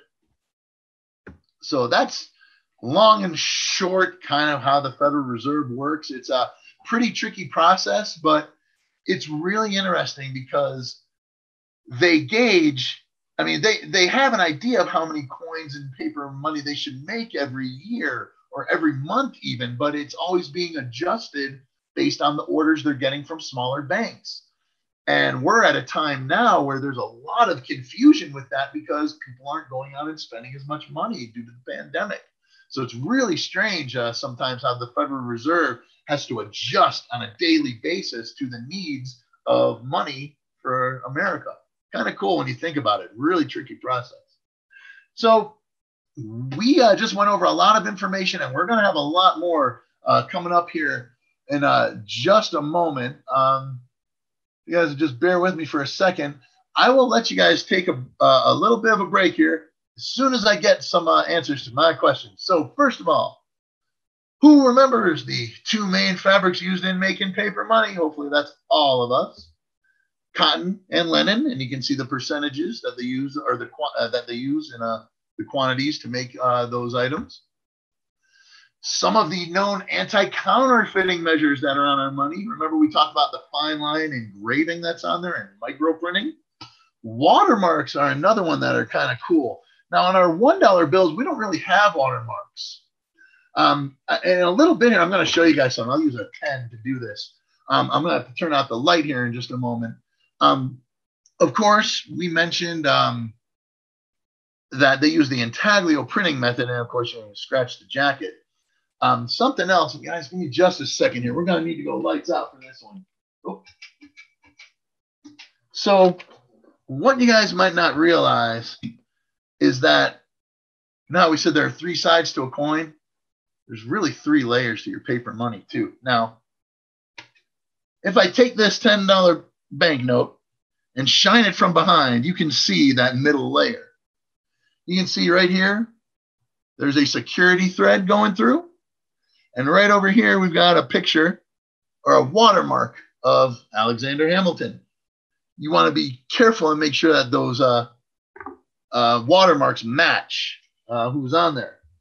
Now, something else um, that we do that you might not realize with our, our money, if you use a black light or an ultraviolet light, this is not the best quality one, but hopefully you'll be able to see those uh, security threads are actually, uh, they will glow different colors. Let's see if I can find where to say that one was again. Yeah, right here on a ten dollar bill. It's kind of tough to see. I'll show you on a twenty because on a might 20, need to lift it up a little bit. I don't think they can. Oh well, yeah. On a twenty, I don't know if you guys can, or uh, if you're catching that, but you see how it glows green under ultraviolet light, and printed on there really tiny. It also does say on there USA 20 over and over again. The Bureau of Engraving and Printing tries to do a lot of things to protect our money. Some things that people may not even realize that, you know, some people know, oh, yeah, there's security threads. You might not know that they glow certain colors. Now, one of my favorite features about our paper money, you might not realize, is that the ink is slightly magnetic.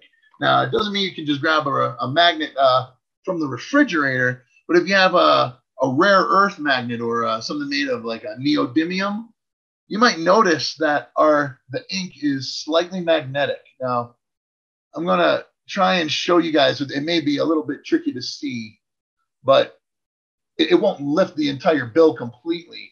Well, you might notice it's kind of a so it's kind of attracted. Logan, I don't know if that's uh coming out on screen there. If you guys can all see that. Uh, yeah, a little bit. It shows it sticking a little bit. Yeah, you see how it's like kind of sticking to it. It's a really tough magnet. Um, Yeah. yeah, we use magnetic ink, and of course, uh, some of y'all might know on the uh, the newer hundred dollar bills we have that big, huge uh, blue security thread there, uh, and of course, there's a watermark. Uh, here, I'll show you right there. There's a there's Big Ben's face right there. Hopefully, you guys can see that. But um, something else that they're starting to do now is they use color shifting ink. Right down here, if you hold it at one angle, it looks black. If you hold it at a different angle, it looks brown. Uh, I'm not sure if that's coming up on screen. It may be really tough to see in a on a Zoom camera, but uh, th- there's just so many different things that they do. So there's color shifting ink, magnetic ink, security threads, microprinting, watermarks, fine line engravings, and again, ultimately, I told you there's three letters you need to remember if you're uh, if you need to do a quick test to see if someone's giving you a fake uh, bill or not. Um, just scratch the jacket of the guy on the front. Okay.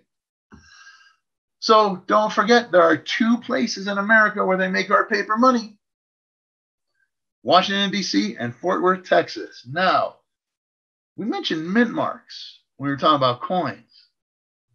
How would you know where a banknote is made? I mean, we know about, you know, the Federal Reserve branches, but that doesn't mean where they made it. That just means it was assigned to that branch. But how do you know where they made your paper money? plate number at the bottom right. If you look right down here at the bottom right of a banknote, right down in front of the plate number, if you do not see that little FW, and I hope that's coming out okay, Logan, uh, I'm not sure if uh, you all can see that or not, but if you do not see that little FW, then that means it was made in Washington, D.C. If you do see that little FW before the plate number, or um, yeah, the plate number, that means it was made in Fort Worth, Texas. So easy way to uh, understand where your banknote was made. So real quick before I let you go, guys, uh, if you've read The Hunger Games, despite how good those books are, did Suzanne Collins get the idea for dividing the different districts of Panem in her dystopian fictional novels from our own Federal Reserve? Yeah, that'd be my guess. So they say a lot of times that fiction, you know, art imitates life, and that is one example of it right there. So, boys and girls, um, I think uh, unless you have any uh, questions for me, um, we could uh, probably uh, answer. Uh, yeah, we uh, probably answer some questions now, Logan. That's uh, Um, what coins does the screw press at the ANA make? Ah, we don't make any coins because if we were making coins down there, we'd be going to prison. It's illegal to make coins. Uh, what we make instead are uh, what we call tokens. Um, we make tokens down there that are, let me see, I think I might actually have one right here, mini mint token. Uh, we use pewter. Uh, it's a really soft metal. Uh, it's mostly tin. Uh, we make medals uh, that are used, uh, just souvenirs when people come to the Money Museum. Anytime you guys come out to the Money Museum in Colorado Springs, we can usually make those right there. We'll do a live demo and show you how coins are made. Not using real machinery that they have at the mint nowadays, but old time screw press technology. But um, yeah, we do not make coins down there because that would be counterfeiting, and I do not want to go to prison for anyone. So we uh, yeah, we make tokens or medalettes down there using a pewter. Yes. And then uh, what are the official, official names for the front and back of a banknote?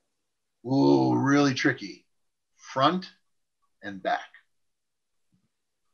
Perfect. Yeah, if you look at the uh, at the program uh, guide, if you guys printed that out uh, where it says the parts of a banknote diagram, um, grab that again real quick here. Yeah, it will say uh, yeah front and back on there. Uh, it's probably on the sides. It's a little trickier to see, but um, yeah, if you look right here, it's on the side, yeah, front and back.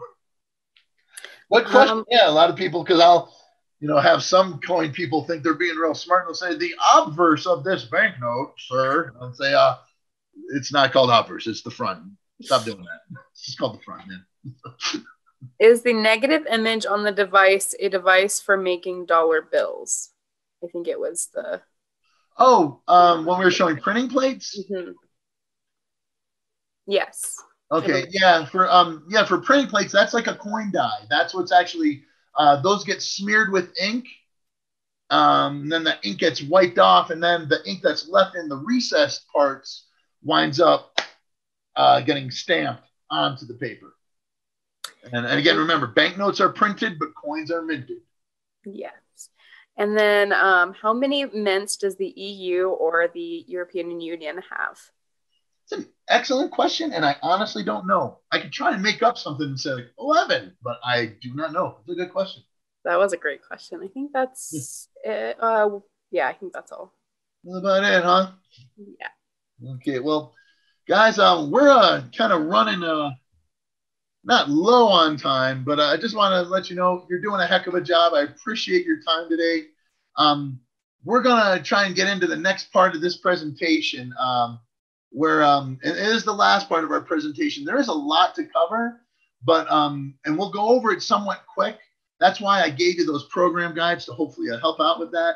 Um, and you'll be able to email me anytime if you ever have any other questions. So I don't want you guys to uh, worry too much. But right now, I want to go over just some ways to collect and beginning things to make you a coin collector. Because now you know how coins are made, you know how paper money is made. But now, if you're going to start collecting this stuff, Let's talk about real ways to do this. So there is a right way and a wrong way to collect coins. Um, you want to make sure that you're handling coins properly. Um, you always want to hold coins by the edge, by that third side. We have oils in our skin and sweat. And if you hold a coin like this, see, I'll do it with this because this is a circulated coin. This is one I've been carrying in my pocket for years and years. It's a silver dollar from 1896. Ain't that pretty? But um, yeah, these coins right here. Um, I, I mean, this one I don't mind, but to show you for real, um, this is how you should always hold collectible coins, especially if it's a proof coin. Uh, you might not notice that we have oils in our skin, and if you hold a coin in properly, you might not notice it right away, but those oils, that fingerprint is still left on the coin. And if it stays on there for too long, it's going to be on there permanently. You'll never get it off of there no matter what you do. And you don't want to clean coins. Uh, we'll talk about that in a, a couple minutes here.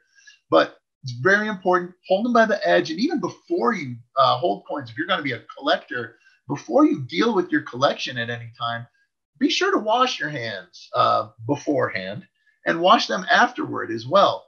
Um, money is dirty. You do not want to touch money and then eat something. Bad idea, even before coronavirus. Um, and it's always a good idea not to talk over coins. Uh, because little microscopic bits of saliva will float out into the air, which we're all learning about nowadays, and they will land on the surface of coins. Um, the reason why that's a bad thing is you'll get these little black spots, what they call fly specks, And I'll show you a picture of that in just a minute here. Um, we get people asking us all the time, how do you clean coins? Don't. Do not clean them. It's not a good practice. Clean is a dirty word in this hobby. All right. So pointing that out. Uh, there are right ways to conserve coins professionally. That's a story for another time. I almost didn't want to mention it because I don't want you to think there is a right way to clean coins. Most times, to try and attempt to save a coin, usually wind up killing the coin ultimately. Don't do it. You want to keep coins away from heat and humidity as well, because that could uh, have, if there are other chemicals present in the environment, it could have bad effects to your coins. There are many ways to store coins, and we'll talk about that in just a little while. But here are some pictures of improperly handled coins. Sometimes you might uh, have coins in a certain holder that have staples, um, these little cardboard flips that you can put coins in. If you have a coin that's stapled in there, and then at some point you decide, I want to put it in a different holder, if there's still staples in there and you try pulling that coin out, if you're not careful, you'll get a huge staple scratch on the coin, as you can see what happened right here to this poor wheat cent.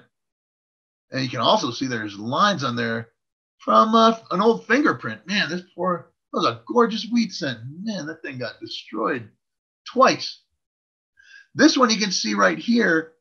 Uh, there's a Liberty Head nickel from 1900, and you see that green stuff right there. That's because, uh, and well, I'll talk about this a little bit later too. But there are some holders that they use for coins um, that are actually made of a soft plastic called PVC. Um, and the difference between that and like the, the sturdy plastic or the safer plastic ones, uh, the PVC ones kind of smell uh, like a brand new shower curtain because uh, they're made of vinyl. Um, so they're safe to use every now and then, but if you keep a coin in there too long, the chlorine will kind of leach out and it could potentially uh, make this green slime on your coins that, that happened to that poor nickel there. Remember, I said you can get those fly specks, the little black spots We're talking over coins that aren't protected. So that's what happened to this. Uh, oh, and that was a good buffalo nickel too. Man, that's a shame. But um, so it's okay to talk about coins, just don't talk over your coins. So mind your preposition there. So sometimes coins, the way they're stored, um, certain chemicals will react uh, with the metal, uh, uh, certain chemicals in the environment. And this takes a, a long time to develop uh, genuinely uh, because some of these coins are so beautiful. Um, it's kind of hard to figure out what they should be worth. Um, believe it or not, that uh, big one that you see right down there, uh, that uh, Franklin half dollar from 1958, that coin uh, went for some crazy money. Went for over a hundred thousand dollars at auction a couple years ago. Why? Because some collector out there love the colors on it. It's a really cool, colorful half dollar. But anyway, so different ways to store coins, as you can see on the screen right there. Like I said before, you have these uh, cardboard, what we call two by two uh, holders, um, because they're two inches by two inches. So you've got some where you can put them in. You know, there's a little window there um, that you can just kind of put the coin in and staple it shut. It's okay. It's a good, cheap way of keeping coins. Um, I like to use the uh, safe plastic flips because uh, they can be folded down. Um, on the other side, uh, you can put a little slip of paper that tells you, um, you, that you can write down all sorts of stuff about the coin. So that really helps out. Um, there are many different ways you can do it. Keep coins in tubes. Um, you can keep them in a little paper envelope. Some people like to do that with ancient coins, and they also use these uh, little um, little uh, like uh, fabric envelopes that go inside there to really help protect the coins. Serious collectors of uh, uh, early American copper coins will do things like that. Um, you can see I actually have uh, my uh, American Silver Eagle here in one of those plastic uh, containers. Uh, that helps keep coins uh, pretty safe as well. Um, you've got canvas bags. This is a really old one from a sub branch of the Federal Reserve Bank uh, down in Miami area, uh, where Logan and I are both from. Go South Florida, go Dolphins. Um, of course, you have albums. There are other hard cardboard uh, or uh, hard plastic containers. Um, ultimately, and you have a bunch of these uh, flips or cardboard uh, containers together. You can just put them all in a row there in a box. You can see I probably have a, a box right here of some that I'm working on for my own collection. See that right there? So stuff I'll have to get to after our meeting today. So many different options for storing coins. People have asked before, is there any way you can store a coin that makes it perfectly safe so that nothing will ever get to it? Well, I mean, they make uh, what they call professionally graded coins, and sometimes these are in uh, holders that are pretty good. They keep coins pretty safe, but the only method that's 100% safe is lucite. But the only problem with putting a coin in lucite is that it is now permanently entombed in plastic. So maybe not the best method, but many different ways. There are pluses and minuses to each storage method. And like it says on the screen here, coin collecting is a hobby. So it's it should be done the way you think it should be done. Um, but with that being said, um, you know, with storage, make sure you're using the proper ways to store a coin and handle them properly. Um, they even make these uh, little tongs that you see right here to kind of help uh, if you're worried about holding coins by the edges. I'll show you this coin a little closer a little bit later. This is one I found last night, uh, and I'll talk talk to you about that a little later. But there are many ways to keep coins in a collection or to collect coins. You can collect them by uh, all the different ways that you see on the screen right there. And we're going to talk about some of these right now. So, first of all, uh, one way that I think is a fun uh, way to do is by denomination. This that you see on the screen right there is a collection of all US $1 coins. Not all of them were designed to circulate, but they could all be used as money. Uh, remember, any coin in America made ever since 1792, when the mint started in Philadelphia, is still legal tender. You can still use it as money. Um, should you use a $20 gold piece at McDonald's? Don't think so. Um, the, the gold content is closer to about $2,000 right now, but if you go to a store, they can only give you $20 worth of stuff for it. Face value, collector value, and then bullion value, all different things. So here's another way of uh, collecting gold, uh, coins. You want to get real fancy. Start collecting uh, two and a half or uh, gold dollar gold pieces, or, uh, or what we call two and a half dollar quarter eagles. Uh, eagle is an old denomination in American coins that means ten dollars. So a quarter eagle would be two dollars and fifty cents. half eagle is five dollars. double eagle is twenty dollars. So another denomination out there yeah, if you want to collect these, uh, start saving now, especially for the uh, no stars variety of the 1796 uh, quarter eagle. That's what they like to call a prohibitively rare coin because they cost so much money to try and get one. And then you see some old proof gold here from the 1800s, very expensive. Uh, one thing, real quick, I want to point out. You guys see the design right here in the lower right? That uh, that is a two and a half dollar Indian design.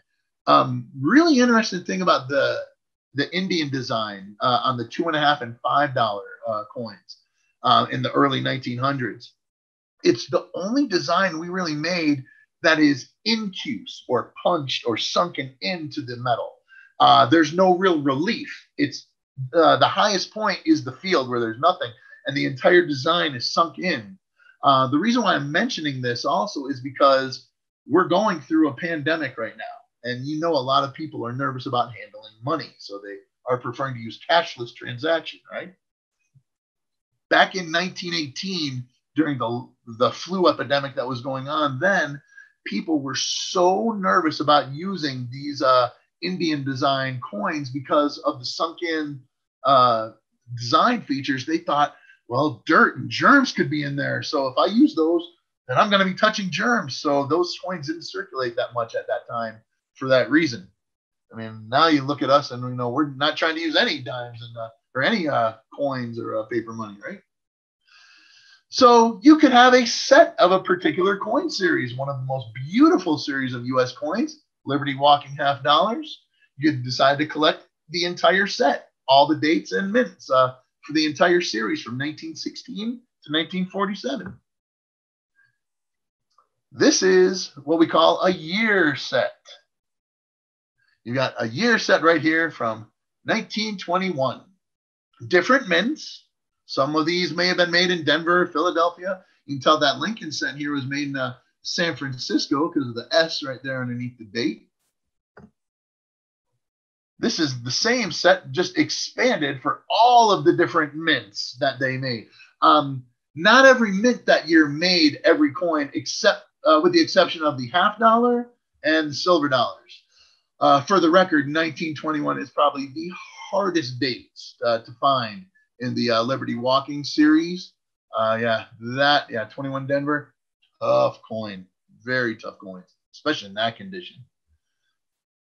You could expand that to include the gold. The $20 Eagle, they did make a gold coin date in 1921, just that one. They also made commemorative half dollars uh, for the state of Alabama, um, two different versions of it. So this right here is a picture of every single coin the United States made, or every, uh, not every literal coin they made, just a example of the set. Pretty cool when you think about it. Many different ways to collect.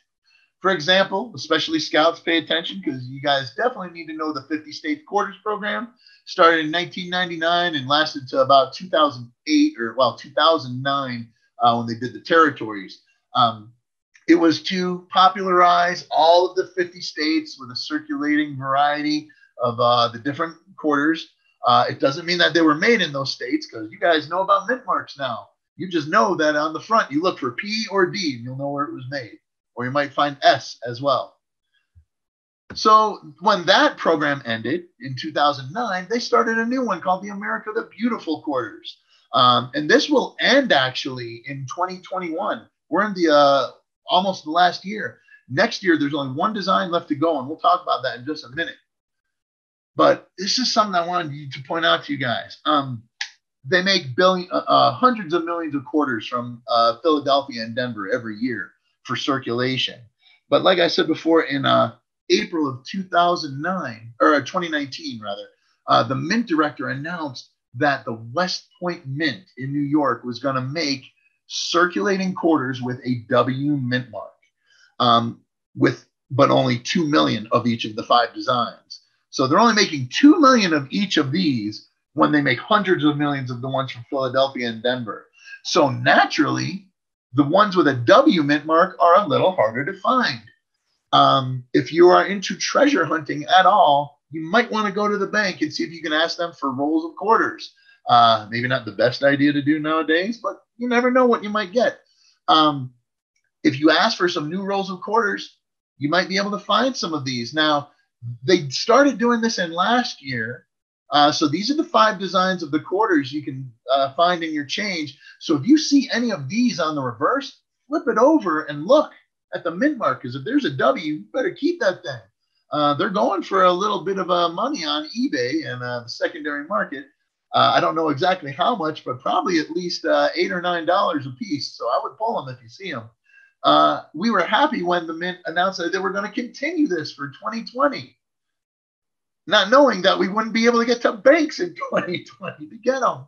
So it's been really difficult trying to find them this year. Um, but these are the five designs. They just came out with the last one uh, right here with the, uh, the butterfly on it for tall grass prairie. So all five designs have been released this year. Um, and this year, 2020, also marks the 75th anniversary of the end of World War II. So uh, the Mint actually just last week or uh, the week before came out with uh, some really rare uh, silver eagles, uh, proof silver eagles that have a tiny little mark right there that say V75. Also, some very tough to find gold uh, eagles that they did with that as well. they only made 1945 of those. Um, very expensive coin.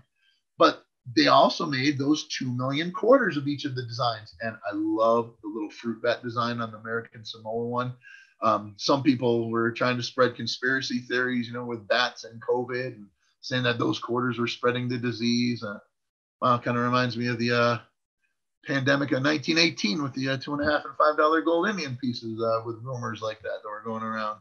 But um, I wanted to show you something because I went to the bank yesterday and I got uh, some rolls of quarters. I was able to, and one of my friends who works there uh, held uh, some of the new rolls of quarters for me.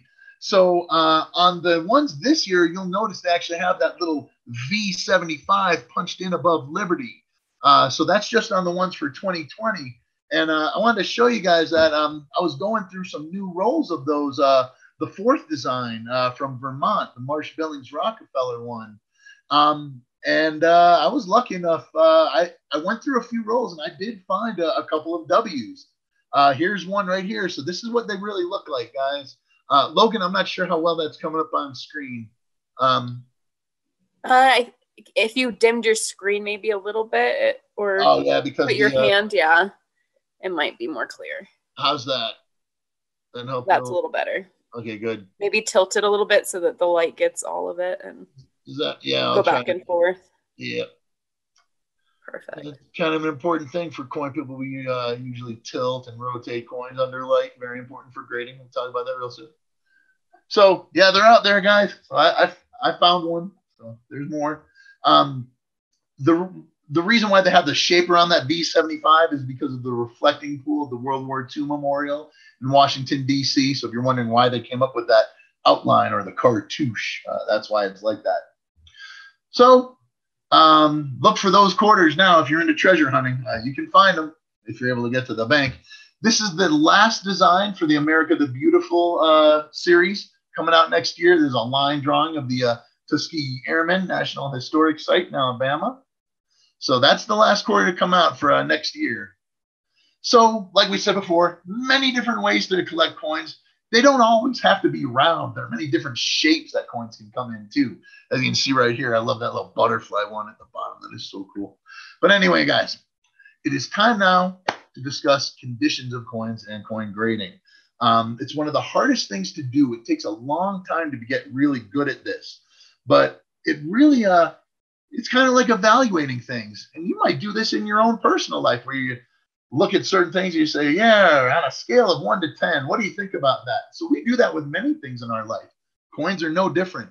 And the first guy who came up with this, a guy named William Sheldon, he was doing this to try and come up with values for uh, large uh, old copper cents uh, that we had in the 17 and 1800s. And he came up with a scale from 1 to 70. So 70, of course, is the idea that it's a perfect coin that just came off the dies, no marks on it. This one is pretty close to a 70, might be a 68, 69. There might be a couple of marks if I look at it in the right light. But coins that are uncirculated show no traces of wear. It is nice and shiny and even all the way across on all the devices, on the picture, nice and clear, no trace of wear at all.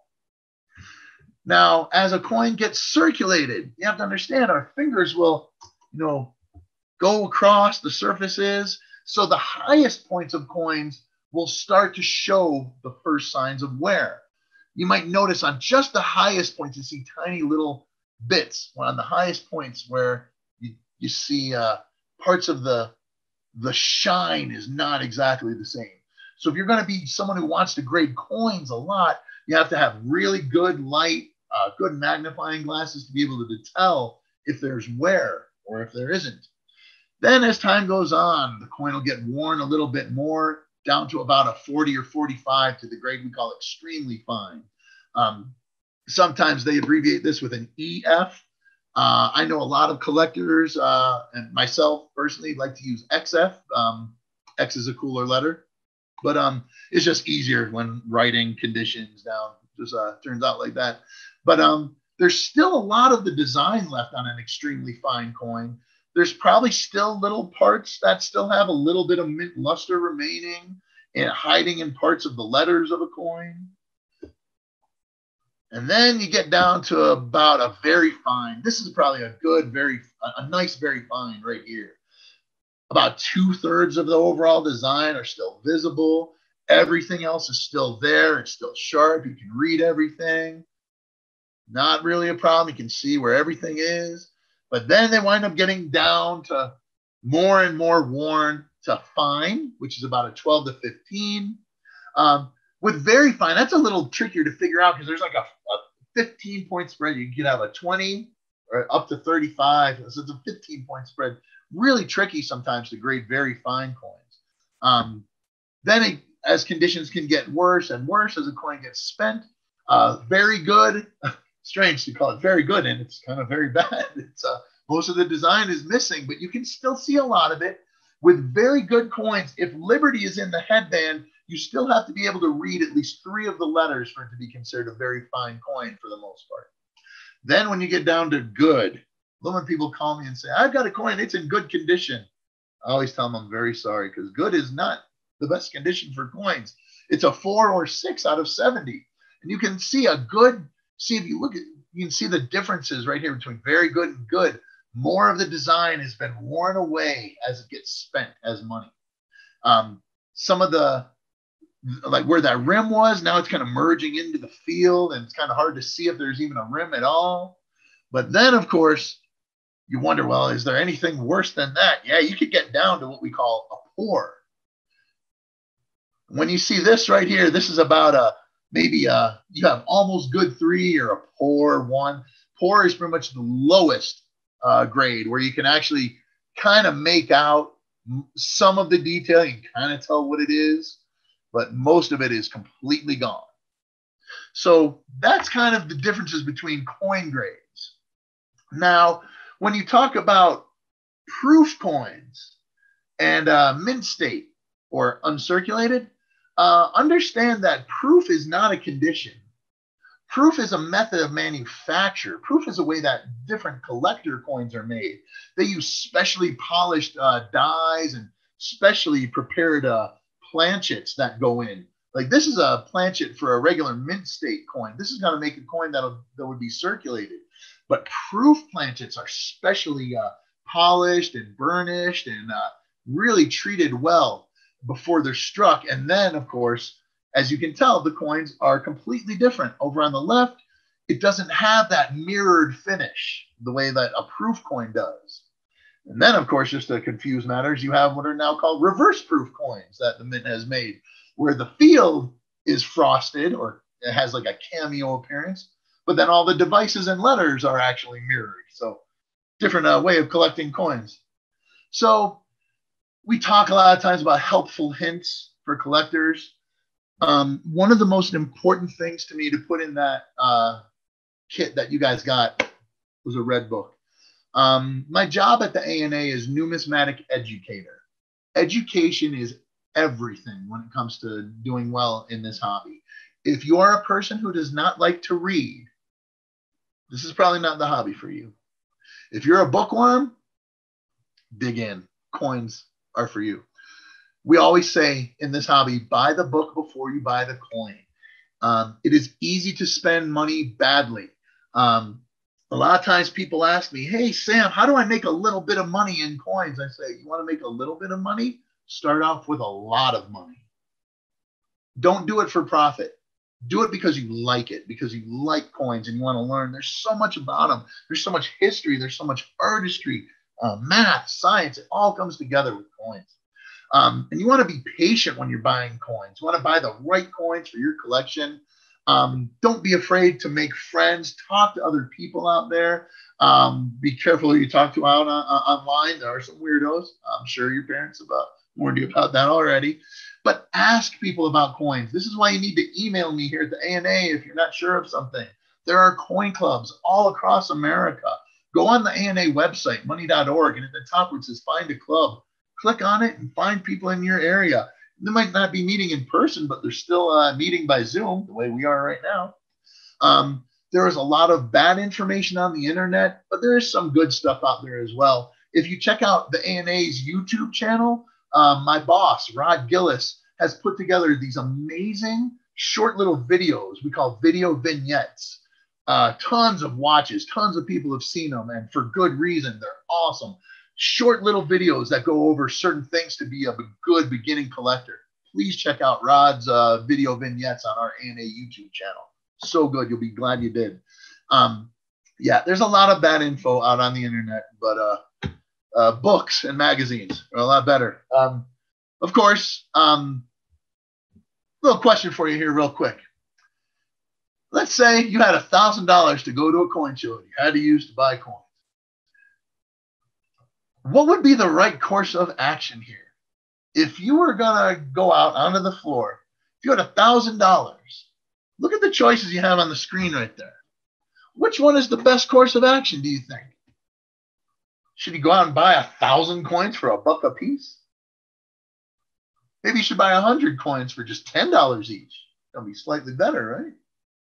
Or ten coins for a hundred dollars each. Think about it for a second.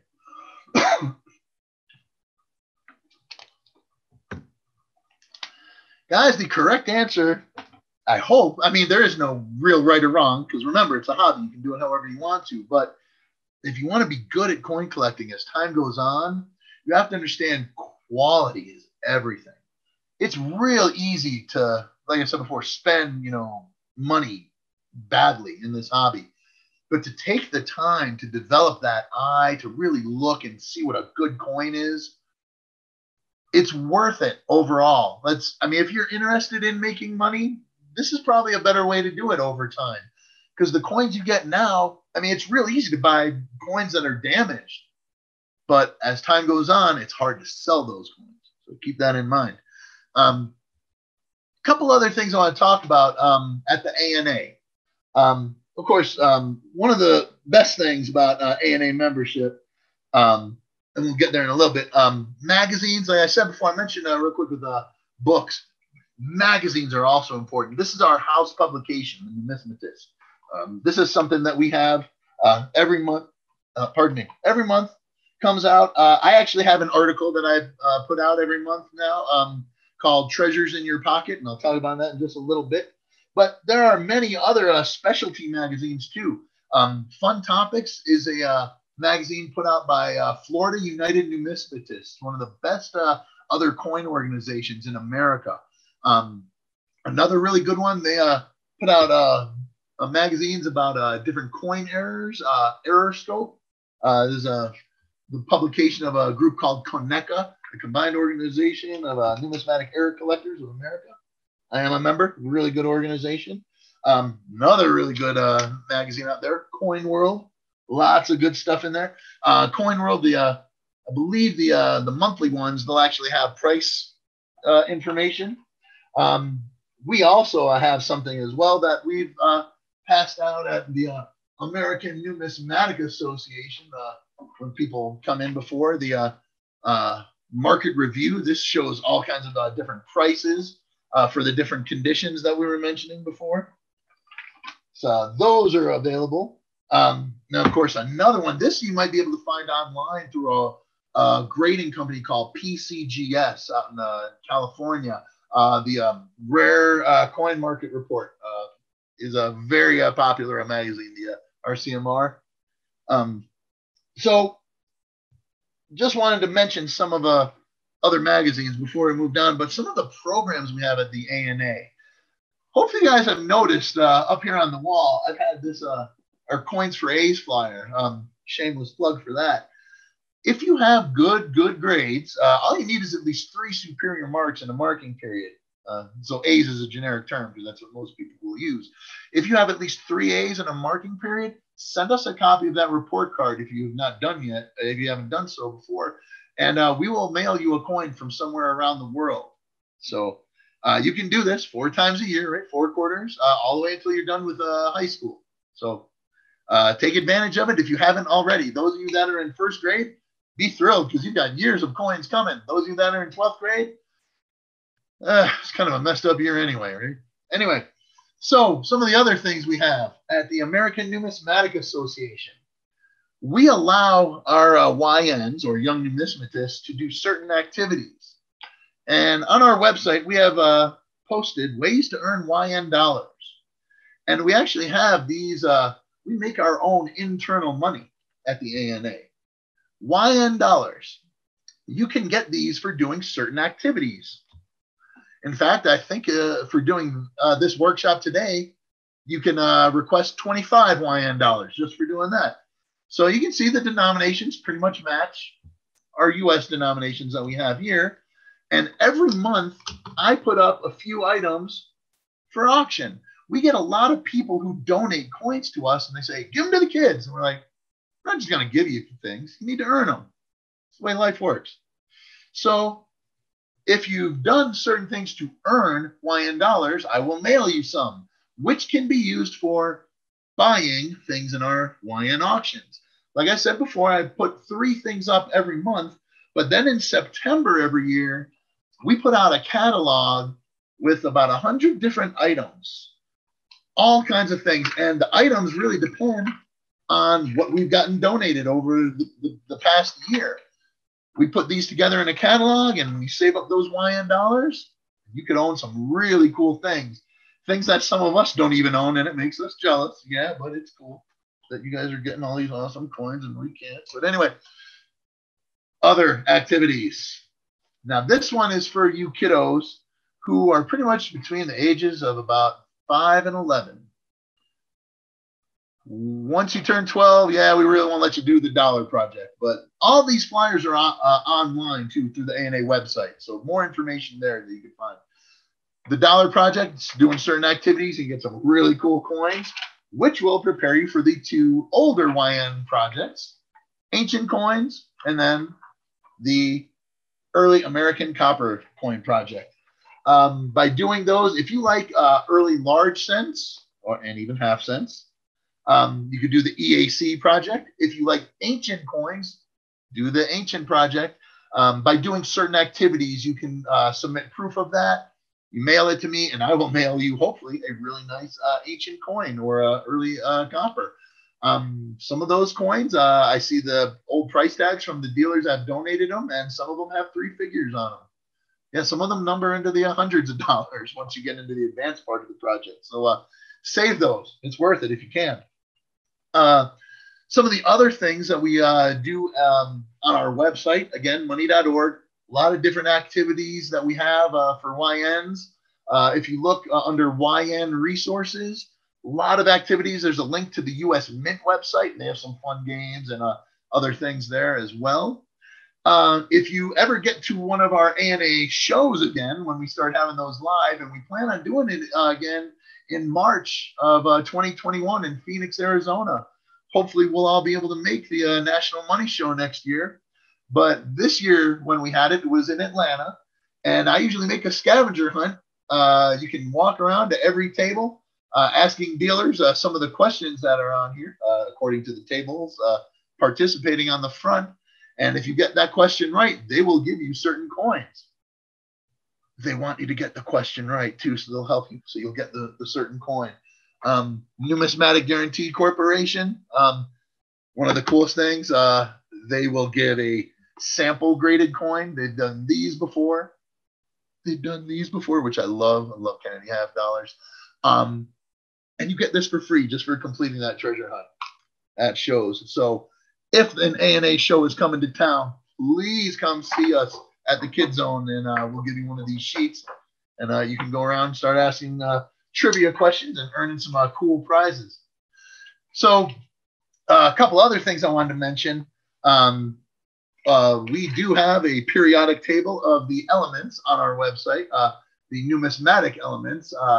This is a really cool one because it takes every single element out there and it actually shows examples of coins that were made out of them or uh, how those metals have been used over history. So uh, uh, we actually have a promo, a promotion going on right now where it's just $25 total with postage. Uh, so if you check out on the homepage of the ANA website, it talks about holiday things you can buy. Check that out you can get that poster. Uh, good Christmas idea or Hanukkah. Christmas Hanukkah Kwanzaa present. Something else you could do as well, we have a diploma program, like I mentioned before, correspondence courses where you can learn all about uh, coins. Um, we're going to have them online one day. We're just working on that right now. It's a, you know, still a dream at the moment. Uh, por los jóvenes, you know, uh, se hablan español. Uh, I do have uh, something on our uh, website uh, that is a translation guide from uh, Spanish to English for uh, certain coin terms. It's actually something I made for our dealers uh, speak with customers that may speak Spanish to help them understand certain coin terms in Spanish. If I could do it for every language, I would, but I only speak a little bit of Spanish. something else, like I mentioned before, on our website, there's a feature called Treasures in Your Pocket where it goes over certain things you can look over or look at in your own change to know the difference between an error coin or you know just damage. Uh, and again, remember, I have a magazine article I put out every month in our uh, uh, publication, The Numismatist. Um, TIYP. Um, yeah, I have a new uh, feature coming out uh, real soon, so hopefully you guys will read that and uh, try and teach you about certain things you can look at to uh, try and find uh, some really cool things in your money, like W mint marked quarters. So, guys, something else you might want to look for in your change. Uh, I gave you uh, some wanted posters in our uh, in that program guide. Um, look for carefully for these coins right here. Um, I mean, it's pretty easy to find a, a 1969 San Francisco Lincoln cent if you look through enough uh, coins. But finding one with the doubling really strong like this on the front is near impossible. Um, if you look at a 1969 cent and you see it looking that blurry, it has to match that exactly, or it's not it. Um, there are a lot of them that kind of look like that, but they're not. If it looks like this, um, that might pay for college for you. So keep that in mind. Um, and from 1982, uh, Denver, you can read about this. And if you uh, printed out that uh, um, the program guide, I also did a Treasures in Your Pocket article about this a few months ago. This is actually uh, the very first coin I featured in that uh, as a, uh, a Treasures in Your Pocket article because um, I did it as a silent dedication to my wife because she was born in 1982. So that's why I did that. Um, but yeah, there are some 1982 Denver cents uh, that are a lot more rare than others. Um, these are actually more rare than the 1969 San Francisco one I just showed you, but uh, these are not quite as valuable. Very hard to find though if you find a copper small date 1982 cent from Denver. More information in that post that you guys have, so you can always take a look there. So we're gonna break uh, in just a little bit for the day. Um, there are lots of different websites uh, out there. Um, again, a lot of them may not be reliable. I try to include in that program guide uh, some of the most important ones. Um, but there are most of this I did just to give credit to the people that I uh, borrowed images from. Remember, uh, you guys have to do that for book reports in school, right? You have to give credit to your uh, source of information. So that's all I'm doing right here. Just, you know, all the uh, different uh, photos uh, that I had. But guys, got some good news for you. As of this moment, uh, you technically have the credentials to become what I would consider a YN, a young numismatist. So give yourselves a little round of applause. Um, like it says there at the bottom, you can email me questions anytime you have them. Uh, real tough, really uh, tough uh, email address too, sam at money.org. So email me if you have questions, guys. Um, something I would like you all to know is you uh, can use the code that's on the screen there that's highlighted. Uh, YCC210. That is not a zero, it's an O. Um, use that code and you can get your first year of membership in the ANA for free. Uh, bad news for those of you that are already ANA members. If you're already a YN in the ANA, sorry, we can't extend your uh, membership by a year. This is only for people who have not been members before. So please uh, write this down because I'm going to uh, um, move on from this screen. Um, those of you that uh, are joining us uh, as a scout, uh, please stay with us because I'm going to talk about uh, some opportunities uh, for uh, the coin collecting merit badge uh, that we'll be doing in next week's meeting. So uh, stay with me. But everybody else, uh, if you signed on, I mean, of course, you could listen to the scout stuff, but you don't have to. Um, thank you so much for joining us today. Um, I hope you wrote down that membership code. Please write it down now if you haven't already, or do a screenshot because I do have to move on from this screen. Um, that code YCC210 not zero. Make sure it's an O, not a zero. Um, and that's what you will use to get your first year of free ANA membership. Um, before we get into the things for scouts, uh, I'm going to put up the, uh, uh, we'll answer some questions uh, if that's okay, Logan, because I'm sure people probably have a lot from the stuff we just spoke about. And then I'll uh, give you the information uh, for scouts. Okay. So, did we have any questions out there? We actually don't. I don't think we've had any since the last. That means I'm perfect and I did my job very well. Exactly. Nice. You made everything immaculate. I'm out. All right. No. Anyway, guys. Um. So again, hope everyone wrote down that discount code. Um. Thank you for joining us. Remember those three important words down there. Enjoy your hobby. It is your hobby too. tell other people about it. See if uh, you know you can't make people enjoy these little round metallic objects that we all collect so much. So, scouts, if you are interested in earning that CCMB, we'll see you next Saturday at the same time that we started this one at 11 o'clock Mountain. Um, we'll review the ones that we went over, but there are also some other requirements that you will need to do on your own. Um, yeah, the meeting info uh, info is up there. Um, you could always email me if for some reason you didn't get it right here. I could always forward that to you. Um, I'll see if there's something we can include on the ANA website uh, where we have our scouts information. Uh, I'll have to talk to uh, my my uh, buddy in uh, our IT department, uh, see if we can make that happen. But um, yeah, I know you don't want to write down the entire Zoom address info right there. It'd probably just the meeting invite info and the passcode. please do that right now if you haven't already, because I wanted to go over some of the CCMB requirements. Uh, and then after that, if you're a Girl Scout interested in getting our Fun with Money patch, uh, please stay on because I'll go over those requirements real quick too before we sign off. All right. Okay, guys. So I had to get rid of this screen. I'll give you another uh, five seconds or so to write down that invite and uh, passcode.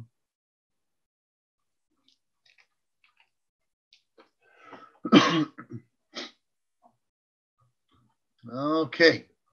So next week these are the uh, CCMB requirements for scouts. Now, everything that's in black, we went over today. We'll review those things briefly when we meet next Saturday.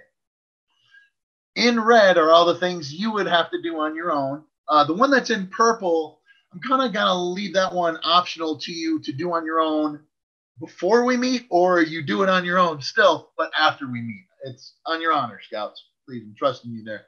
Um, the way this will work too is after we meet, uh, when we meet next week, um, of course, you know, I'll have it, uh, you know, gallery style so I can see everyone's face.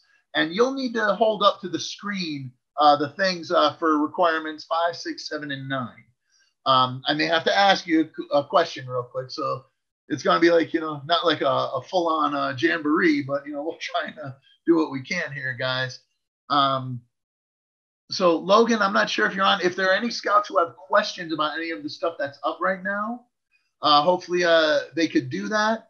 Uh, I mean, of course, you could probably ask your local council as well. They might be able to help you.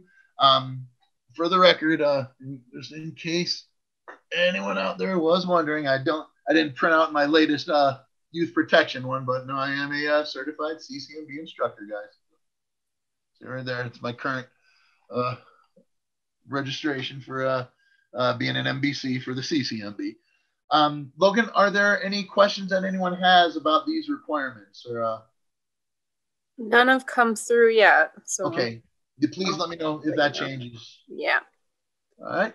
So um, then uh, on to the uh, if you are a Girl Scout or Brownie and you're trying to get your Fun with Money patch. Uh, again, all this information is under our uh, Young Numismatist resources on the ANA website, money.org. Um, and, and you can see I have to, this will be two different screens. Everything in black we went over today, but we would review on Saturday. Uh, everything in red you would be responsible for doing before we meet next time. Uh, so you've got a week to get this stuff done. Uh, scouts, uh, BSA, and Girl Scouts, I hope you've already completed some of these things on your own. Otherwise, I'm sorry that that follow up is coming uh, in just one week. I wanted to give you two weeks, but unfortunately, uh, I think there's a holiday going on in two weeks. Not that it's going to be any Thanksgiving that we've ever seen before. going to be a weird one this year, but um, yeah, I, I, because Thanksgiving's coming, that's why we made the follow up this uh, coming uh, Saturday, uh, the 21st, uh, instead of uh, 28th. So, uh, Girl Scouts, if you're uh, trying to get your FWM patch, um, you can see these same requirements on the uh, ANA website. They won't be highlighted like this, but if you use a uh, you know some common sense, you can figure out, oh well, that's something I would have to do on my own, uh, or you know before you know we meet again, you'd have to do a drawing. Uh, we did a coin rubbing today, so you're good there. Um, some of the other things. Um, where in number six, I put that in purple because you can do a virtual tour of the ANA Money Museum. So you could do that one uh, pretty easily going online. Um, same with uh, number seven there, uh, where it says to uh, visit uh, our website and write a report. Uh, I won't force you to write a report, but if you're going on a tour of the ANA website, well, you knock out number six and number seven at the same time. Um, and number nine, you wouldn't need to show me all the state quarters from any one year. Um, one nice handy way they do that. Um, here's like an example of all five of the quarters that came out in 2018. So you could just pick any year, find all five of the designs for that year. You can do it for this year. You can do it for any other year. Just it just has to be the same year. So keep that in mind. Um, and then for number 10, um, you can visit a US Mint facility virtually. So you could uh, satisfy that requirement that way. So um, just wanted to um, find that out, or just wanted to let you know that. Logan, were there any other questions uh, that came through? Yeah, so somebody, I think it was a Boy Scout asking if they have to do all of that by next week. Unfortunately, because that's the uh, one we're going to be meeting uh, next. Uh, again, I couldn't extend it two weeks uh, because we're getting into the holiday season. So that's why I, uh, I was just mentioning that we uh, have the follow up coming up. But again, for number 10, you can do that on your own. I, I can be flexible with that. You can do a, um, you know, a tour of the Mint facility. You can do a virtual tour after our meeting. I'm okay with that. Um, I'm actually uh, fine uh, with you doing that. Um, but I, if I didn't have a chance to say this, uh, after we meet and we go through those uh, CCMB requirements, you will need to mail your blue cards into me. Uh, you will need to uh, uh, into the ANA. Uh, I'll give you my address at the ANA, and we'll go over that. Um, yeah, I spoke with my local council here, the Pikes Peak Council, and we pretty much they authorized it. They said yes, it's okay. Scouts can mail the blue cards, and as long as we've met all the requirements uh, via Zoom meeting, I can sign off and mail the blue cards back. That way, uh, you can get your CCMB.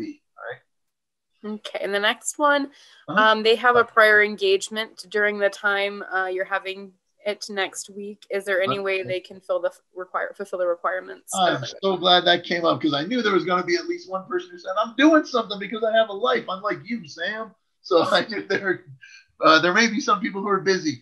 Uh, if we, and we can't really record it, uh, we won't record a scouts meeting anyway.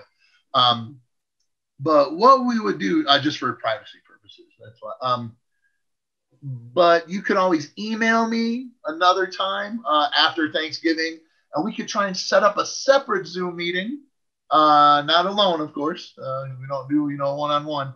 Um, now with scouts, we would uh maybe uh, with a parent there, or if you have another scout, another friend who could join in on that meeting, and then you could satisfy those requirements that way, and I would be okay with that if you're okay with that. Um, so hopefully we could do that. I mean, we can always do this. I mean, let's say you're so busy up until maybe even January, and you're like, Sam, I know here I am emailing you in February. I still need to get my CCMB. I was at the YCC class you did on November 14th, but I couldn't do that follow up on the 21st, that's fine. Email me. We'll set up a Zoom meeting and we can go over those requirements.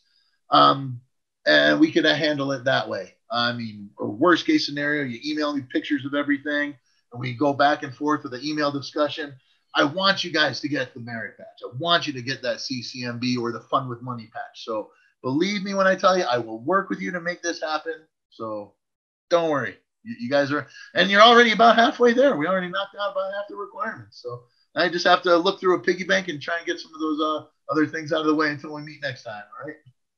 And then whoever raised your hand, um, I can't allow you to speak, but if you can put your question into the Q and A or the chat, I can read it to Sam. Yeah, cool. Go for it. I'm sorry if you can hear the wind happening outside. Yeah, it's a I, I think I'm okay here, but yeah, it is so windy out here today in uh, Colorado Springs. Uh, and yeah, Logan, I don't think you live too far away from me, like maybe a mile up the road too. I think you're close to me on the uh, east side of town here. So yeah, we're getting it pretty bad because uh, we're not as protected by Pikes Peak and the, the front range of the mountains that are on that side. Behind me, that's the east, and that's where all the wind is coming. So. Yeah. I apologize if that was disturbing anyone. Uh, no, I think I can hear mine. I, th- I just was wondering if it was nice. interrupting your speaking. Because there's yeah, things flying into my windows even. Understood. So I'll leave that up again real quick, uh, uh, in case anyone needed to write it down again. You said there was a uh, someone else who uh, had a question, but there were. Yeah, they haven't entered it, but yeah, if you have questions, I need you to put it into the Q and A or the chat, and I'd be happy to read it to Sam. But that's the only way I can answer questions for you. All right, that's fine.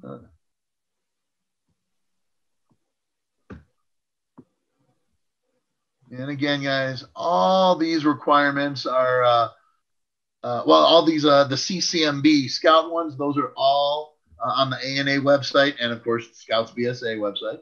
Um, then the uh, Fun with Money patch uh, requirements, that's only something the ANA does. So you would have to go through the ANA website, and those are all listed there. Again, it won't be highlighted, but hopefully you remember the things that we just went over because you'll have to uh, discuss and we'll review them real quick. So not to worry there. But um, Logan, yeah, I don't know if uh there are any other questions, but um. One just came in. I assume okay. collect under number nine means I actually have to have them. Any recommendations on how to do this?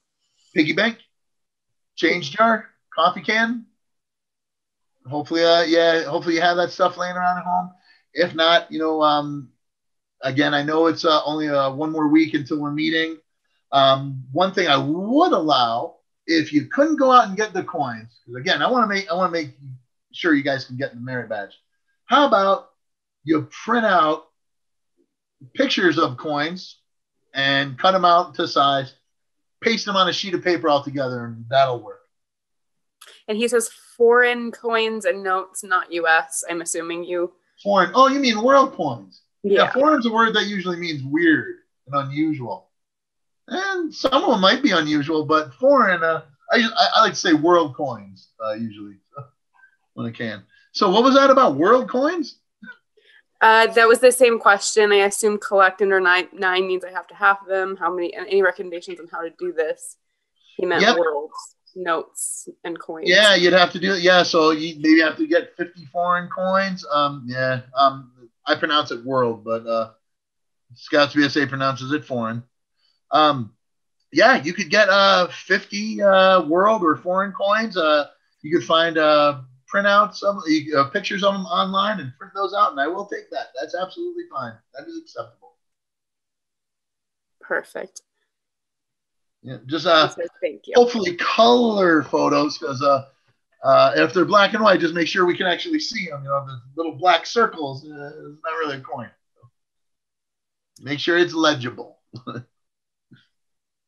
All right. If there's no more questions, which it doesn't look like it, we can go ahead. You guys can find this on the website when they put it up here in a couple of days with along with many other great resources. And uh, thanks to Sam for this. We all learned a lot. I know I did. And uh, we hope to see you on the, the Scouts one next week. Nice. And again, any questions you ever have for me, email anytime, sam at money.org. All right. You guys have a great, great weekend. Talk to you Thanks, soon. everyone. Thanks for joining us.